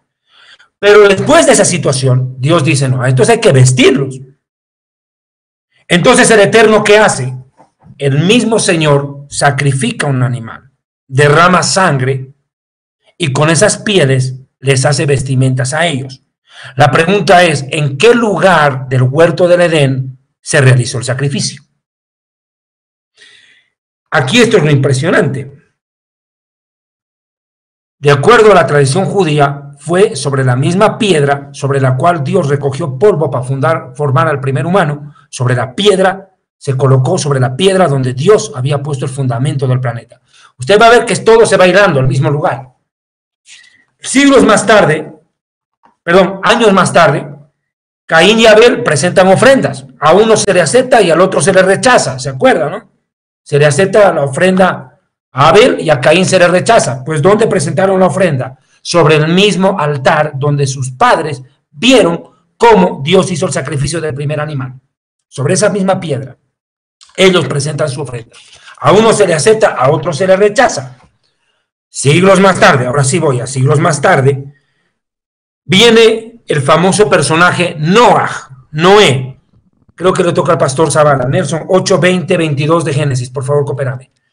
¿Dónde ocurre el sacrificio de Noé y su familia, la ofrenda a Dios luego del diluvio? Porque dice que presentaron ofrendas. ¿Dónde fue eso? Va a leer el pastor Nelson. 8, 20, 22. Génesis. Y edificó Noé un altar al Señor y tomó de todo animal limpio y de toda ave limpia y ofreció holocausto en el altar y percibió el Señor olor grato. Y dijo el Señor en su corazón, no volveré más a maldecir la tierra por causa del hombre, porque el intento del corazón del hombre es malo desde su juventud, ni volveré más a destruir todo ser viviente como he hecho. Bueno, según la traducción aramea, aquí hace un comentario bastante interesante, escuche por favor. Dice, y Noé construyó un altar delante del Eterno. Este es el mismo altar que había construido Adán cuando fue arrojado del Edén y sobre el cual había ofrecido una ofrenda. También en ese mismo altar, Caín y Abel habían ofrecido sus ofrendas. Pero cuando llegaron las aguas del diluvio, fue destruido. Pero Noé lo reconstruyó en el mismo lugar y cogió de todas las aves puras y ofreció cuatro holocaustos sobre ese altar, en el mismo lugar. Miren la trascendencia, y eso es Jerusalén siglos después. Bueno, como dijo el rabino Eliezer Ben Yaakov, dice, este fue el gran altar de Jerusalén, donde también ofreció sacrificios el primer humano. Vamos ahora al siguiente personaje bíblico y su relación con este lugar. Abraham Avinu, nuestro padre Abraham, Pastor Raimundo, Génesis 22, versículo 9.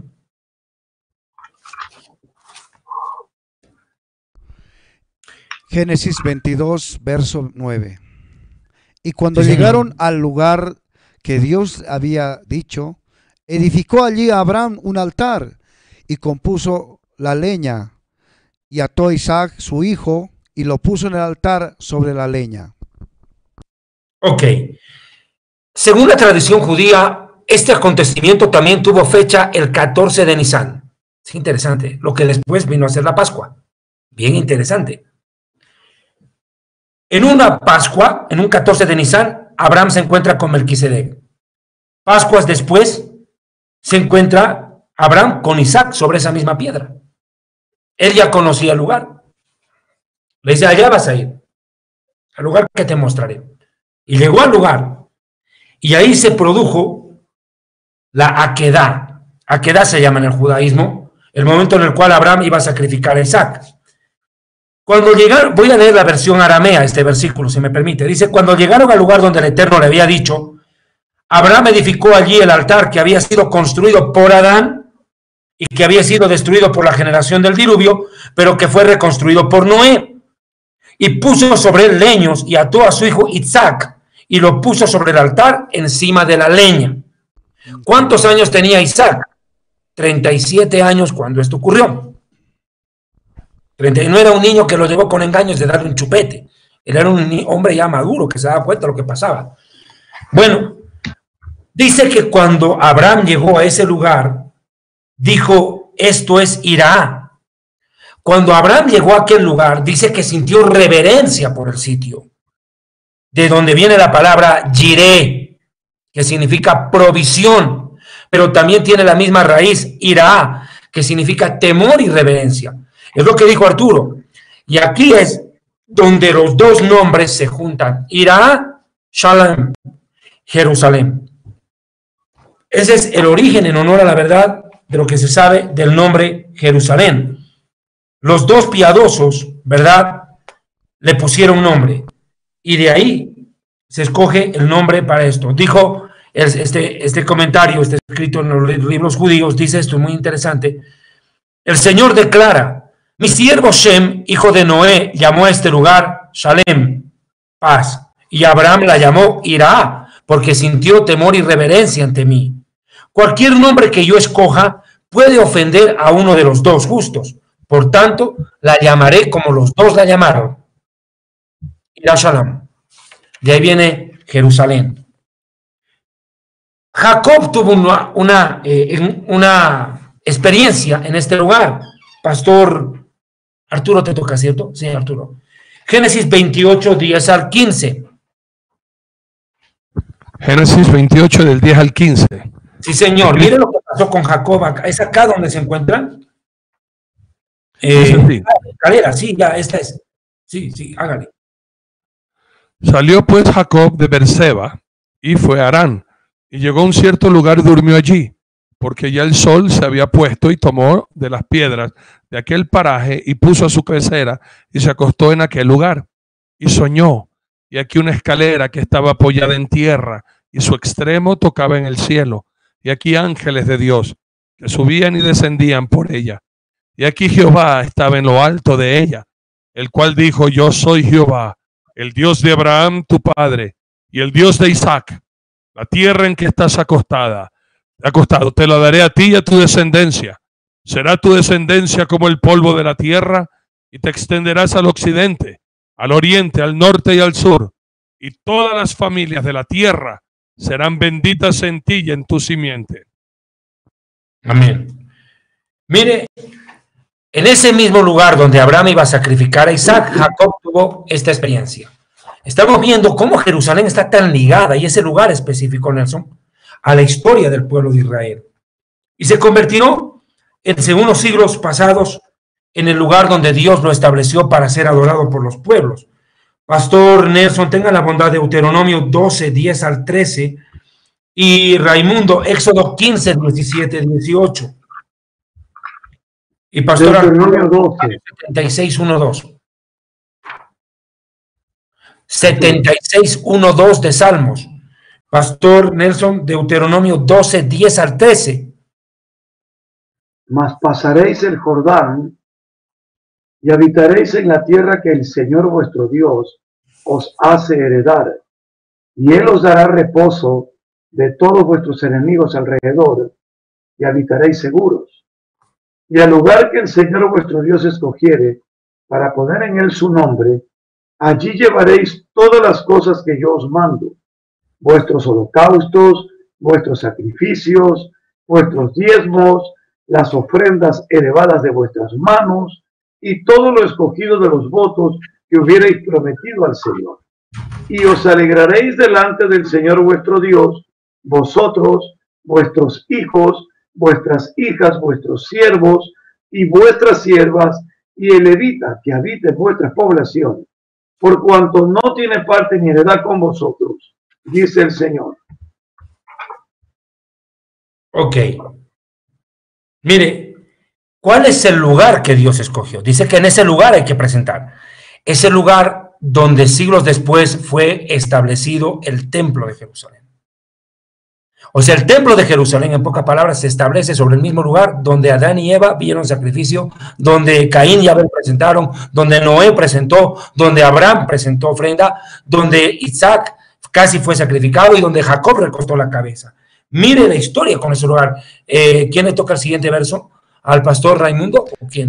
Raimundo, ¿no? Éxodos 15, versos 17 y 18. Sí, señor. Éxodos 15, 17 y 18. Tú los introducirás y los plantarás en el monte de tu heredad, en el lugar de tu morada que tú has preparado, oh Jehová, en el santuario que tus manos, oh Jehová, han afirmado. Jehová reinará eternamente y para siempre. Palabra de Dios. Mire, en el lugar de tu morada. Fíjese, ese lugar es el púlpito de Dios. No es cualquier cosa. Jerusalén no ocupa cualquier lugar geográfico. Mire, el pastor Arturo va a ir con el Salmo 76, 1, 2. Escrito está, Dios es conocido en Judá, en Israel en gran, es grande su nombre, en Salem, está su tabernáculo y su habitación en Sión. Excelente. Bien, siglos después viene David, lo que ya habló el pastor Arturo,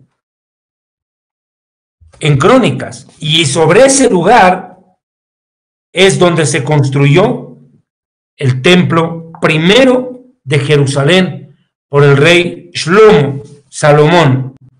Veamos que este lugar es trascendental, pastor. A ver, yo voy a leer acá, lo tengo primera de Crónicas, capítulo 21, versículo 19. Entonces David subió conforme a la palabra que Gad le había dicho en nombre del Eterno. Y volviéndose Ornán vio al ángel, por lo cual, por lo que se escondieron cuatro hijos suyos, que con él estaban, y Ornán trillaba el trigo. Viendo David a Ornán, miró Ornán y vio a David, y saliendo de la era se postró delante en tierra ante el rey David. Entonces dijo David a Ornán, dame este lugar de la era para que yo edifique un altar al Eterno. Dámelo por su cabal precio, para que cese la mortandad del pueblo.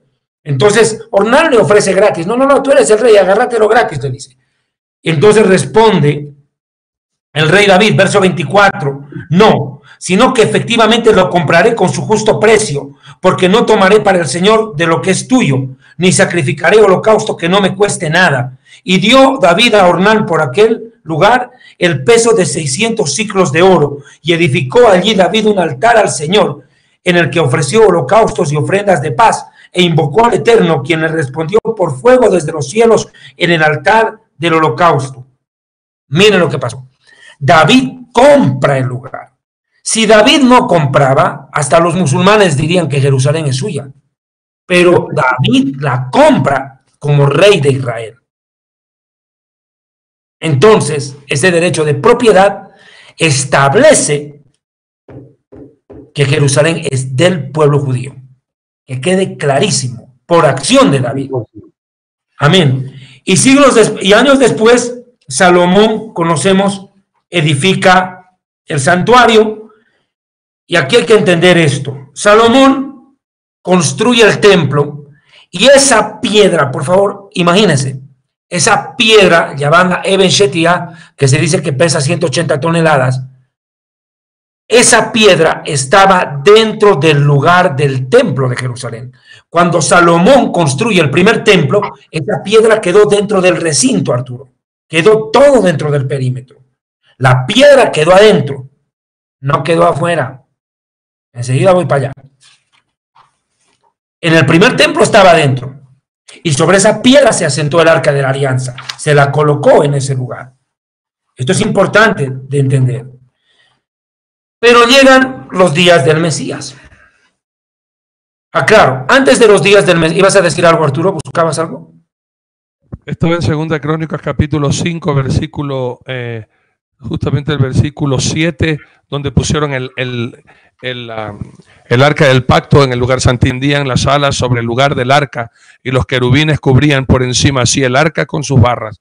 Hicieron salir las barras de modo que se viesen las cabezas de las barras el ar, del arca delante del lugar santísimo, mas no se veían desde afuera, y allí están hasta hoy. El lugar, el lugar, el lugar. Y dice el Señor en el Salmo, lo leyó Raimundo, en el lugar de su morada, en el lugar donde habita su nombre, en el lugar que el Señor escogiere. Se colocó el arca en el lugar santísimo. Yo voy a tratar de mostrar, a ver si acá en mi libro tengo cómo colocar, mostrar esta foto, no sé si me da lugar ahorita, pero bueno, ya este no, ya después nomás, ya después nomás, porque ya el tiempo no, pisa, pisa. Bueno, luego vino la destrucción del templo, ¿no?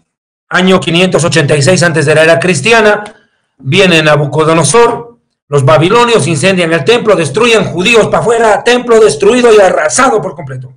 Se quema el templo en el 9 de Av. Av es uno de los meses del calendario judío. El 9 de Av se quema el primer templo y también el segundo templo fue quemado a la misma fecha y a la misma hora. Bueno, eso es otro detalle que solo lo menciono. Es interesante entender que cuando el pueblo judío es desterrado para Babilonia, el templo queda destrozado regresa el pueblo judío en los días de Esdras, Nehemías, y se reconstruye primero la ciudad, los muros, y luego se reconstruye el templo de Jerusalén. Pero aquí vino algo bastante complicado. Se había hecho la casa de Dios en el libro de Esdras. Dice de que empezaron a reedificar la casa, Esdras capítulo 5, versículo 2. Entonces se levantaron Zorobabel, hijo de Salatiel, y Yeshua, ahí está, Yeshua, aparece el nombre Yeshua ya en los textos del Antiguo Testamento como nombre.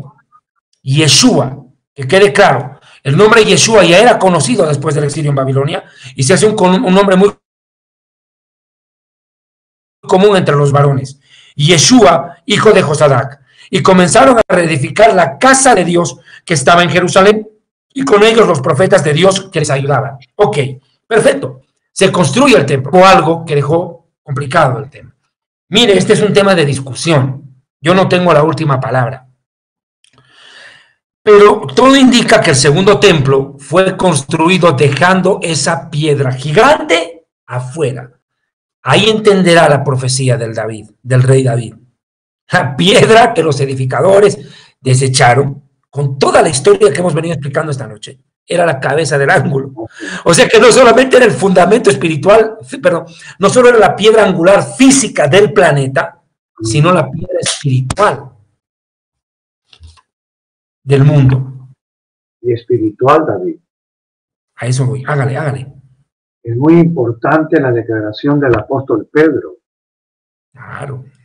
El apóstol Pedro dice en Primera de Pedro, capítulo 2, algo extraordinario, por lo cual también contiene la escritura, he aquí pongo en Sión la principal piedra del ángulo escogida, preciosa, y el que creyere en él no será avergonzado. Para vosotros, pues, lo que creéis, y mira cómo le llama la piedra, esto es espiritual, él es precioso. Pero para los que no creen, la piedra que los edificadores desecharon, habla del Mesías, ha venido a ser la cabeza del ángulo y piedra de tropiezo y roca que hace caer, porque tropiezan en la palabra, siendo desobedientes, a lo cual fueron también destinados. Primera de Pedro, capítulo 2, versículo 6 al 8. Arturo. El mismo Pedro, cuando es llevado ante el concilio, justamente los mismos que mandaron a, eh, o hicieron y mm. dieron la cabeza o el asesinato de mi Señor Jesucristo, Pedro ante ese concilio, el Sanedrín, les va a decir en Hechos capítulo 4, versículos 11 y 12, justamente esto. Yo les digo algo, David, mira, lo que tú estás explicando es maravilloso. Nelson, con su sabiduría y conocimiento de entrelazar las redes de los versículos bíblicos, me fascina, al igual que Raimundo. Pero Israel sin Jerusalén no está completo. Israel y Jerusalén sin Jesús también está incompleto. Este Jesús es la piedra reprobada por vosotros los edificadores, la cual ha venido a ser cabeza del ángulo.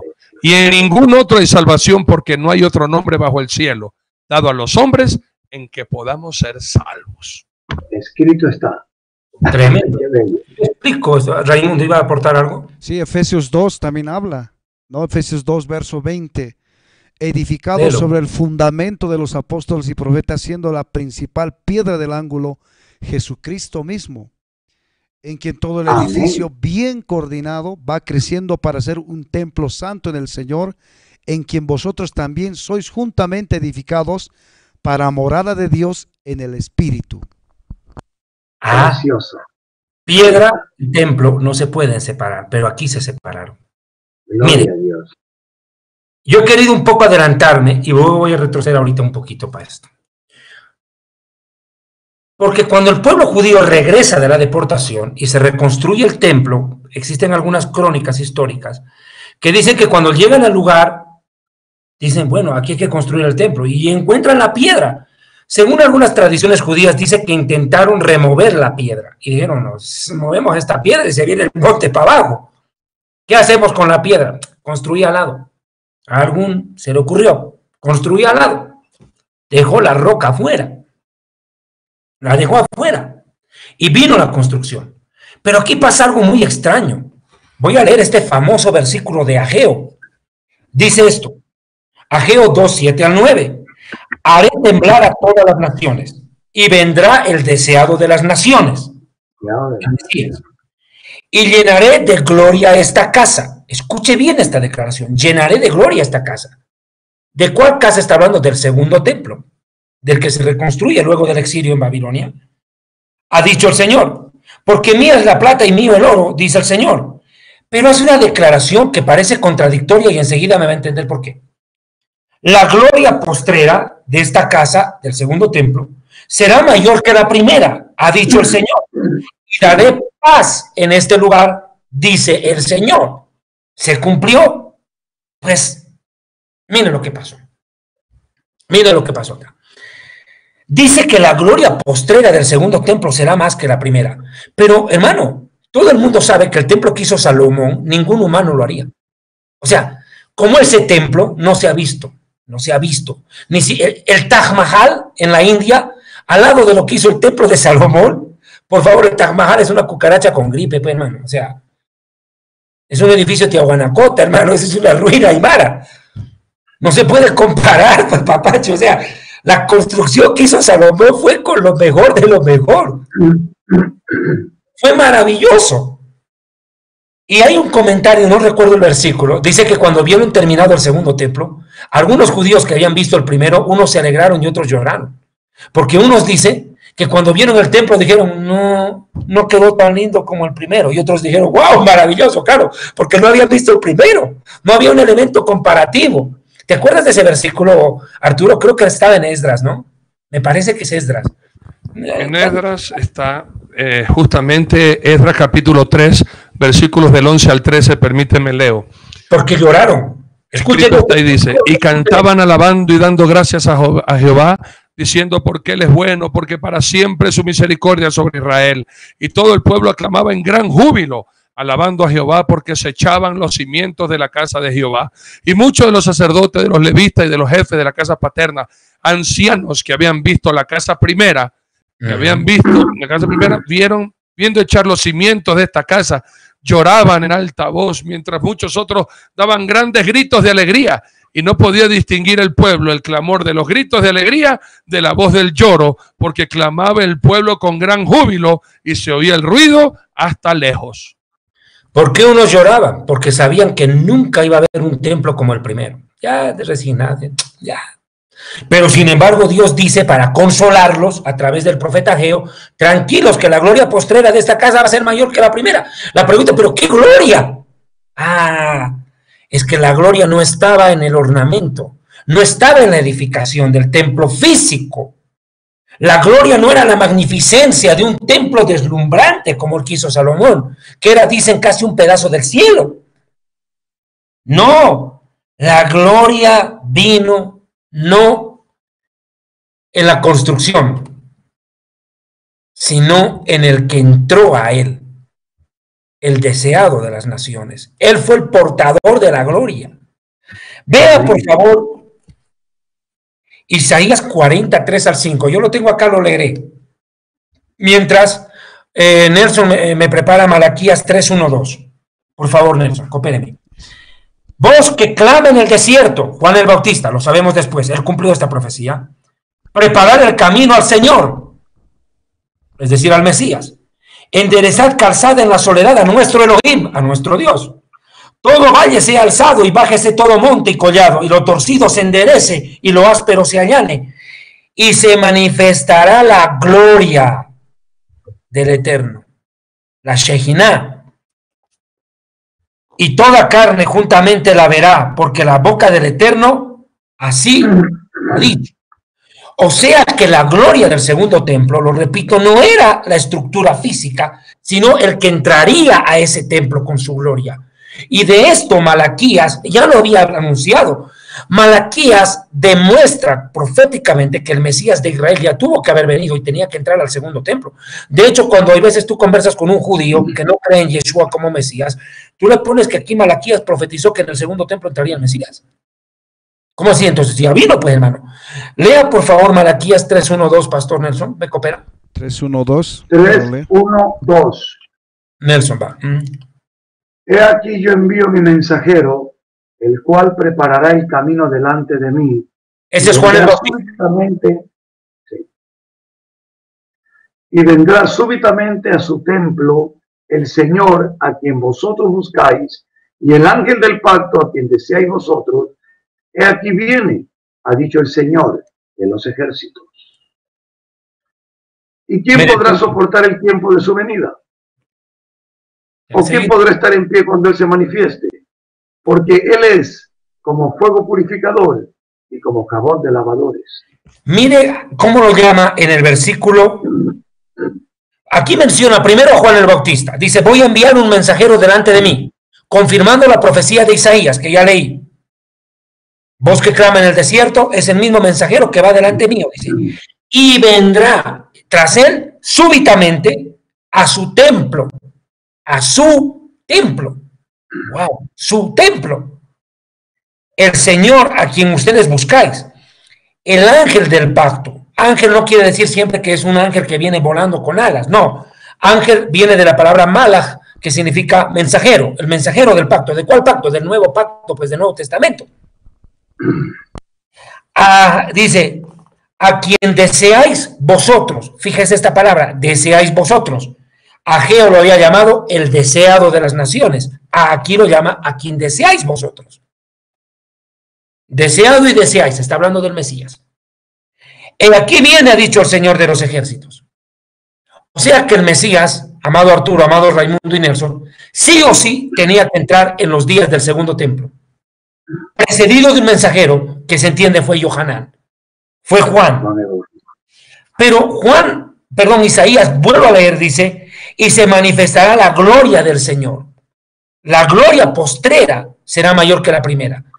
El templo que hicieron los judíos después del regreso no le llega ni a la mitad de lo que hizo Salomón. O sea que la gloria no puede estar en la estructura, sino en la persona que entra. Y mire lo que va a leer Raimundo para todo el mundo en Juan 1.14. Esto es contundente, letal, golazo de media cancha. Mira, mira Raimundo, te estoy dejando el balón para que metas un gol de media cancha, hermano. Y, el arquero ni la vea pasar.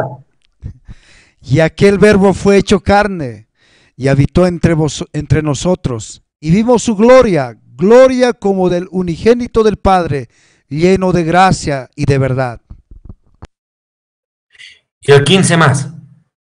Juan dio testimonio de él y clamó diciendo, este es de quien yo decía, el que viene después de mí es antes de mí, porque era primero yo. Primero que yo. Listo, escuchen bien. El verbo se hizo carne. La palabra en griego es erkenosen, que significa se tabernaculizó. O sea que, por eso yo les recomiendo, por favor, va a disculparme la propagandita. Contáctese con Rita Marconi, por favor. Aprovechen de llevar este libro porque van a tener que estudiar este tema del tabernáculo. El Mesías, con todo su simbolismo del tabernáculo, se hizo persona en Yeshua. El tabernáculo se tabernaculizó, dice, se hizo carne y vimos su gloria. ¿De cuál gloria está hablando? De la que Ageo dijo. La gloria postrera será mayor que la primera. Y daré paz, porque el príncipe de paz entró en él, en ese templo. El príncipe de paz entró en él. Por eso Jesús hace una declaración, pero contundente. Lea Mateo 12:6, Arturo. Mire esta declaración de Jesús. Es, es bombazo. ¿eh? Otro brazo, Arturo, va a patear desde el sector derecho. Mateo, Mateo capítulo 12, versículo 6, escrito está, pues os digo que uno mayor que el templo está aquí. El Mesías, hijo. El portador de la el dueño de la Shejina de Dios. Maravilloso. Se entró al segundo templo. Pero la piedra estaba afuera, mi amigo. Construyeron sin piedra. No se olvide. Ese templo no tenía piedra adentro y no tenía arca de la alianza, se los recuerdo. El arca de la alianza no estuvo en los días del segundo templo. El arca vino en el Mesías. Esto que quede claro. Dios permitió que el arca desapareciera, como lo dice en el libro de los Macabeos. Acá yo tengo marcado en el libro de los Macabeos que Jeremías escondió el arca y prohibió que se revelara ¿Dónde estaba? Escondida. No sé, ahorita te lo voy a buscar. A ver, no me contaba ver esto. Permíteme un rato, a ver si encuentro el capítulo para que ya después ustedes lo lean en su casa. Ese pasaje de Macabeos, donde dice que Jeremías ordena guardar y proteger el arca de la alianza. Bueno, me lo dejan un ratito después ya, porque ah, Segunda de Macabeos, capítulo 2. Segunda de Macabeos, capítulo 2. Dice la escritura que el arca de la alianza tenía que esconderse. Versículo 1. En los documentos se dice que el profeta Jeremías ordenó a los desterrados tomar fuego, como se ha dicho, y dándoles la ley mandó que no se olvidaran de los mandamientos del Señor, ni se dejen engañar al ver las esculturas de oro y de plata de los falsos dioses y de los adornos que las cubrían. Y les dijo muchas otras cosas para recomendarles que no abandonaran la ley. Listo. Luego, verso 4. Estaba escrito que también en ese documento el profeta Jeremías dio instrucciones de parte de Dios se había hecho acompañar por la tienda del encuentro de Dios, o sea, el arca y el arca de la alianza, que se había dirigido al monte desde el cual Moisés había visto la tierra prometida por Dios, y que al llegar allí, Jeremías había encontrado una cueva en la cual él en persona depositó el arca de la alianza, la tienda y el altar de los inciensos. Después de lo cual tapó la entrada, cerró la entrada. Algunos de los acompañantes volvieron después para poner señales en el camino, pero ya nunca más pudieron encontrarlo. Y Jeremías, al enterarse de esto, los reprendió diciéndolos, este lugar debe quedar desconocido hasta que Dios tenga compasión del pueblo y lo vuelva a recoger. O sea que Jeremías esconde el arca de la alianza según Macabeos, en el lugar donde Moisés vio la tierra prometida, pero donde no pudo entrar. O sea, esto es interesante. O sea, si la gloria no estaba en el arca de la alianza, estaba en el Mesías. Él es el portador de la gloria y entra al templo. Ahora, ¿qué quiere decir esto? Y esto póngame cuidado. Cuando se reconstruye el segundo templo, al dejar la piedra afuera, ¿qué cosa está profetizando Nelson? ¿Qué profecía tú ves ahí? Se construye el segundo templo, la piedra afuera. Aquí vemos, mi querido David, algo realmente impresionante, ¿no? Yo quiero acotar algo importante a lo que tú has dicho. En los actuales momentos, mi querido David, ¿qué templo existe ahora? En este momento. Físicamente no hay templo. La piedra es el fundamento, lo dejan fuera de todo. Y no hay templo, y por ahora no hay posibilidad de reconstrucción. Pero yo escuché algo de parte tuya que lo estudié y lo analicé un poco y me llamó la atención. Y que me llevaba a pensar el por qué, volviendo al pensamiento del arrebatamiento, ¿por qué no vamos a estar aquí? Mientras dejan la piedra fuera, ¿verdad? Esa piedra es el fundamento de todo, en donde la palabra dice que no hay otro fundamento que no sea Cristo. Lo dice el apóstol Pablo. No hay otro fundamento que no sea Cristo. Sobre ese fundamento, nosotros, la iglesia, hemos sido construidos el nuevo templo, el templo del Espíritu Santo. Esa piedra queda afuera porque fue tropiezo y echada pero nosotros la tomamos temporalmente, porque Israel será salvo y tú lo sabes. Pero en esa piedra nosotros no la desechamos. Para nosotros fue preciosa. Y por eso hoy en día dice la palabra en Primera de Corintios 6 y en Primera de Corintios 9 que nosotros somos templo del Espíritu Santo de Dios. Qué cosa tan gloriosa. Y lo que tú dijiste, y me hizo pensar meses atrás, ¿Por qué no estaremos aquí? Porque no pueden haber dos templos. Se construirá el tercer templo y este templo nos vamos. Porque este era el templo que tomó a Cristo la piedra preciosa, el templo donde el Espíritu mora y hace a estos gentiles pueblo del que no era pueblo. Fuimos y ahora vamos de nuevo con el pueblo que fue pueblo, dejó de ser pueblo, pero sigue ahora siendo el pueblo de Dios, Israel y se construye el tercer templo y pasará todo lo que tiene que pasar.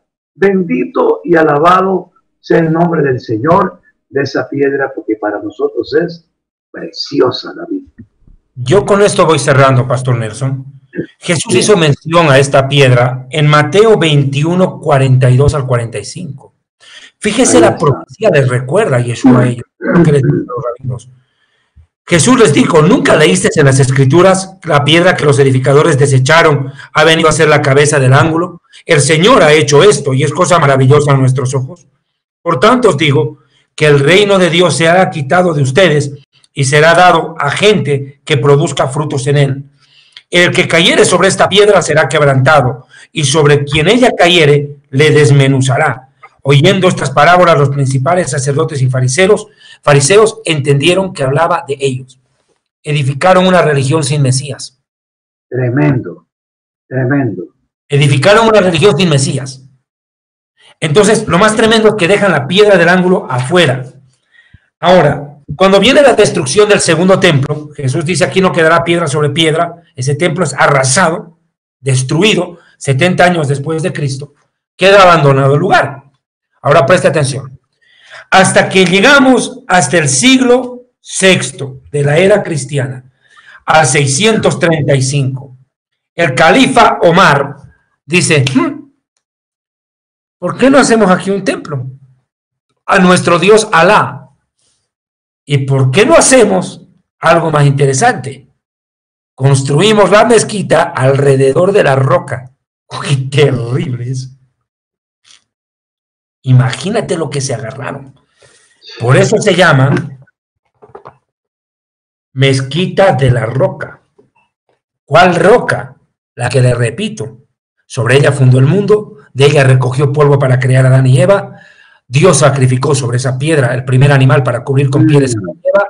Caín y Abel presentaron ofrendas sobre esa roca. Noé reconstruyó ese altar, presentó ofrenda ahí. Abraham se encontró con Melquisedec, Abraham casi sacrifica a Isaac, Jacob colocó la cabeza, David colocó el arca sobre ese lugar, Salomón construyó alrededor de ese templo, segundo templo, dejan la piedra afuera, Jesús queda rechazado como Mesías temporalmente por el pueblo y se agarraron los hijos de Ismael el templo, se agarraron la piedra. Impresionante visto de Jerusalén hoy. David, y ahí hay algo con lo cual podemos entender lo que realmente Jesús le dijo a Pedro. Porque le dice Jesús a Pedro, cuando Pedro recibe la revelación del Padre de quién es el Mesías. En Mateo capítulo 16, verso 18. Este es un versículo mal entendido e interpretado.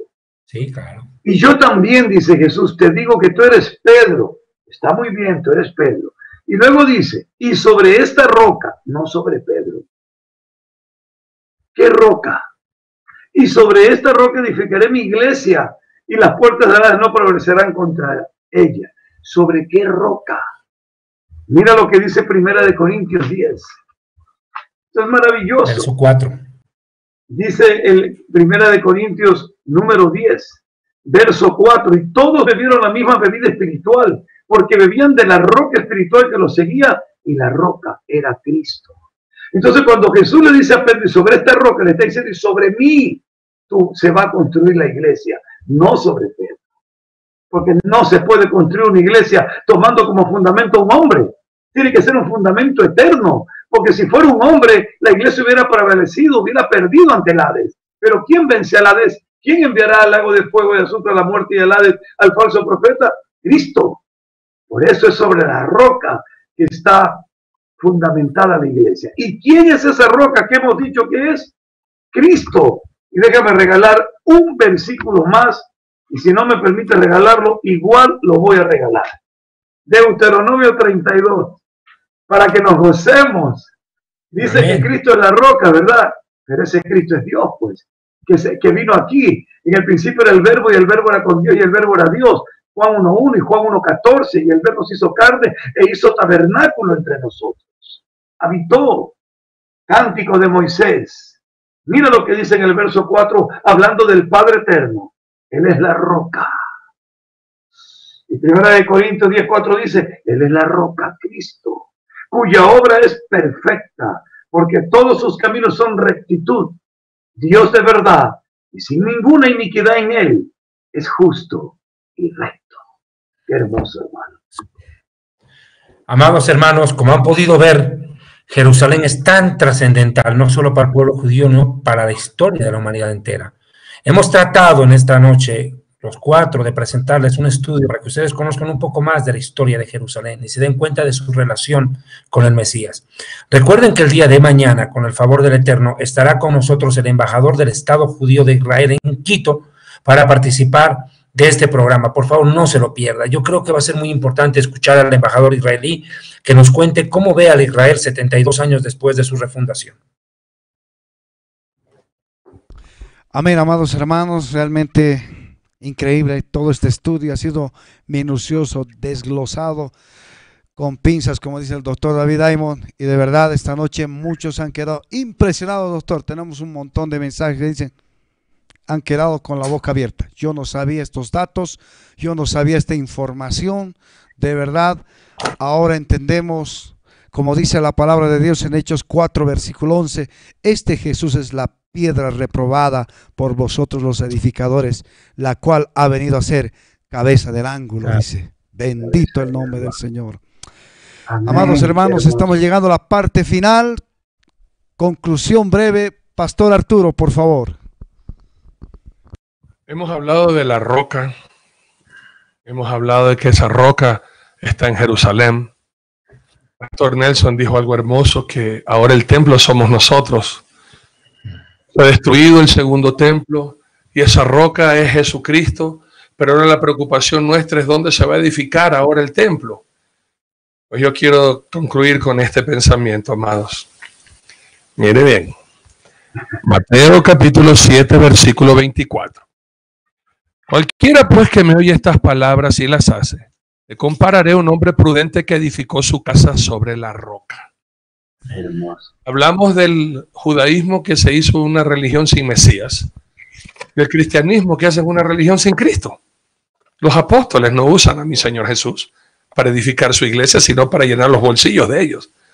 Pero aquí no estoy diciendo la palabra de Dios, amigos queridos, que nosotros los que obedecemos lo que dice mi Señor en su palabra, edificaremos nuestras vidas en la roca, en ese fundamento, en esa doctrina apostólica enseñó mi Señor Jesucristo a sus discípulos que ha llegado a nosotros y ahora se lo compartimos a ustedes por gracia. Y descendió lluvia y vinieron ríos y soplaron vientos y golpearon contra aquella casa y no cayó porque estaba fundada en la roca. Cuando estamos en Cristo, nadie nos puede mover. Y mañana con el embajador seguiremos hablando de Jerusalén y así juntos podamos proclamar, hay vida en Jesús. Tiene un amigo. Amén, amén. Hay vida en Jesús.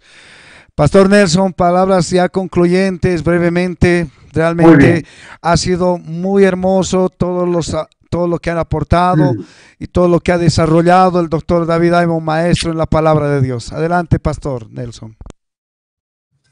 Debe ser terrible llegar a tu ciudad y que nadie te reconozca. La ciudad del gran rey, Mateo capítulo 21, verso 10. Cuando entró Jesús en Jerusalén, toda la ciudad conmovió diciendo, ¿quién es este? ¡Wow! Y la opinión del pueblo fue, este es Jesús, el profeta de Nazaret de Galilea. Pero la opinión de Dios fue, verso 4, todo esto aconteció para que se cumpliese lo dicho por el profeta cuando dijo, decida la hija de Sión, he aquí tu rey viene a ti, manso y sentado sobre una asna, sobre un pollino, hijo de animal de carga. No era un simple profeta, era el rey de reyes y señor de señores. ¿Quién es ese rey de gloria? Jesucristo es su nombre. Que Dios me lo bendiga, mis amados hermanos. Doctor, doctor David palabras finales, breve. Por favor, los que quieren estudiar el libro Jerusalén, perdón, el libro eh, Real Sacerdocio a, todo color, porque a la suegra les gustan los dibujitos de colores, y el libro Historia del futuro, las profecías bíblicas, por favor, contáctense con la hermana Rita Marconi por el Facebook. Tengan la bondad, solo hay libros en Estados Unidos, en Ecuador. Ahorita, hoy, ¿qué pasó con el correo en Ecuador? Dice que lo cerraron, ¿es cierto? Sí, está, sí en una de las empresas que se acabó. Ah, ah, David, hermanos, algo antes de despedirnos.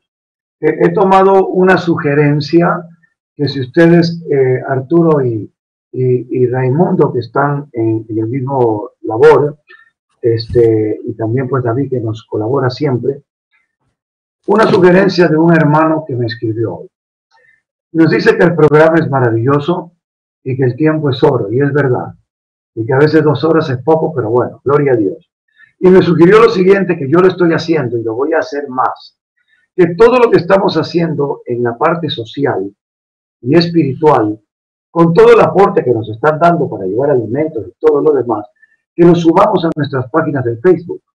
En lo personal, yo tengo una página de Facebook llamada Fundación Monte de Sion. Ahí usted puede ver todo lo que estamos haciendo con sus ofrendas. De tal manera que así este espacio lo dedicamos exclusivamente para lo cual fue creado. La palabra de Dios, su enseñanza. Así que en lo que a mí se refiere, suban, entren a Facebook, Fundación Monte de Sion, y ahí podrán ver toda la labor que estamos haciendo, gracias a Dios y a sus ofrendas, mis amados hermanos. Que Dios me los bendiga. Amén, amén. Sí, precisamente también agradecemos a los hermanos que nos apoyan con sus ofrendas. Usted entra a Luz del Mundo, Shekinah, Bolivia. Ahí están todos los videos, cómo estamos repartiendo los alimentos a muchas personas en la ciudad del Alto. Y de verdad, no solo en, la, en el ¿Cuál es el nombre, Pastor Raimundo? Luz, ¿Cuál es el nombre, perdón? Luz del Mundo, en Shekinah, Facebook. Bolivia. Luz del Mundo, Shekinah, Bolivia. Luz del Mundo, Shekinah, Bolivia. Sí, en nuestra página, en el Facebook. Ahí usted puede ver todos los videos, fotos que se está distribuyendo los alimentos en la ciudad de Cochabamba, la cabeza de la hermana Miriam, en Oruro, por nuestra hermana, eh, ay, ya me olvidé, en la ciudad de, en la ciudad de Tarija, por el hermano Israel. ¿No? Entonces, por favor, vamos a hacer, vamos a visitar a, a nuestro Facebook personal y ustedes todos los videos y fotos van a poder ver. Bueno, muchas gracias, amados hermanos.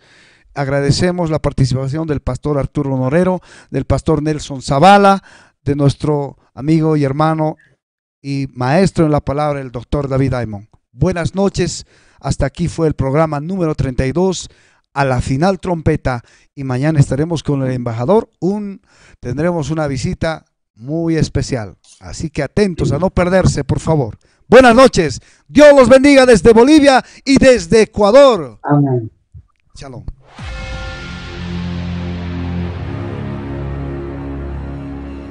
He aquí os digo un misterio. No todos dormiremos, pero todos seremos transformados. En un momento, en un abrir y cerrar de ojos, a la final trompeta. Porque se tocará la trompeta, y los muertos serán resucitados incorruptibles, y nosotros seremos transformados. Primera de Corintios, capítulo 15, versículos 51-52.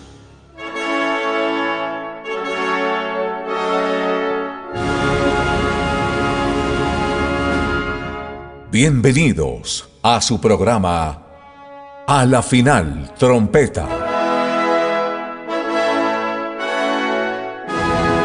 Con los pastores Nelson Zavala, Arturo Norero, David Diamond y Raimundo Ramos.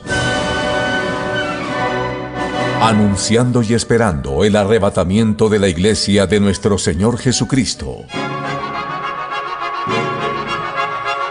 A la final trompeta. Bienvenidos.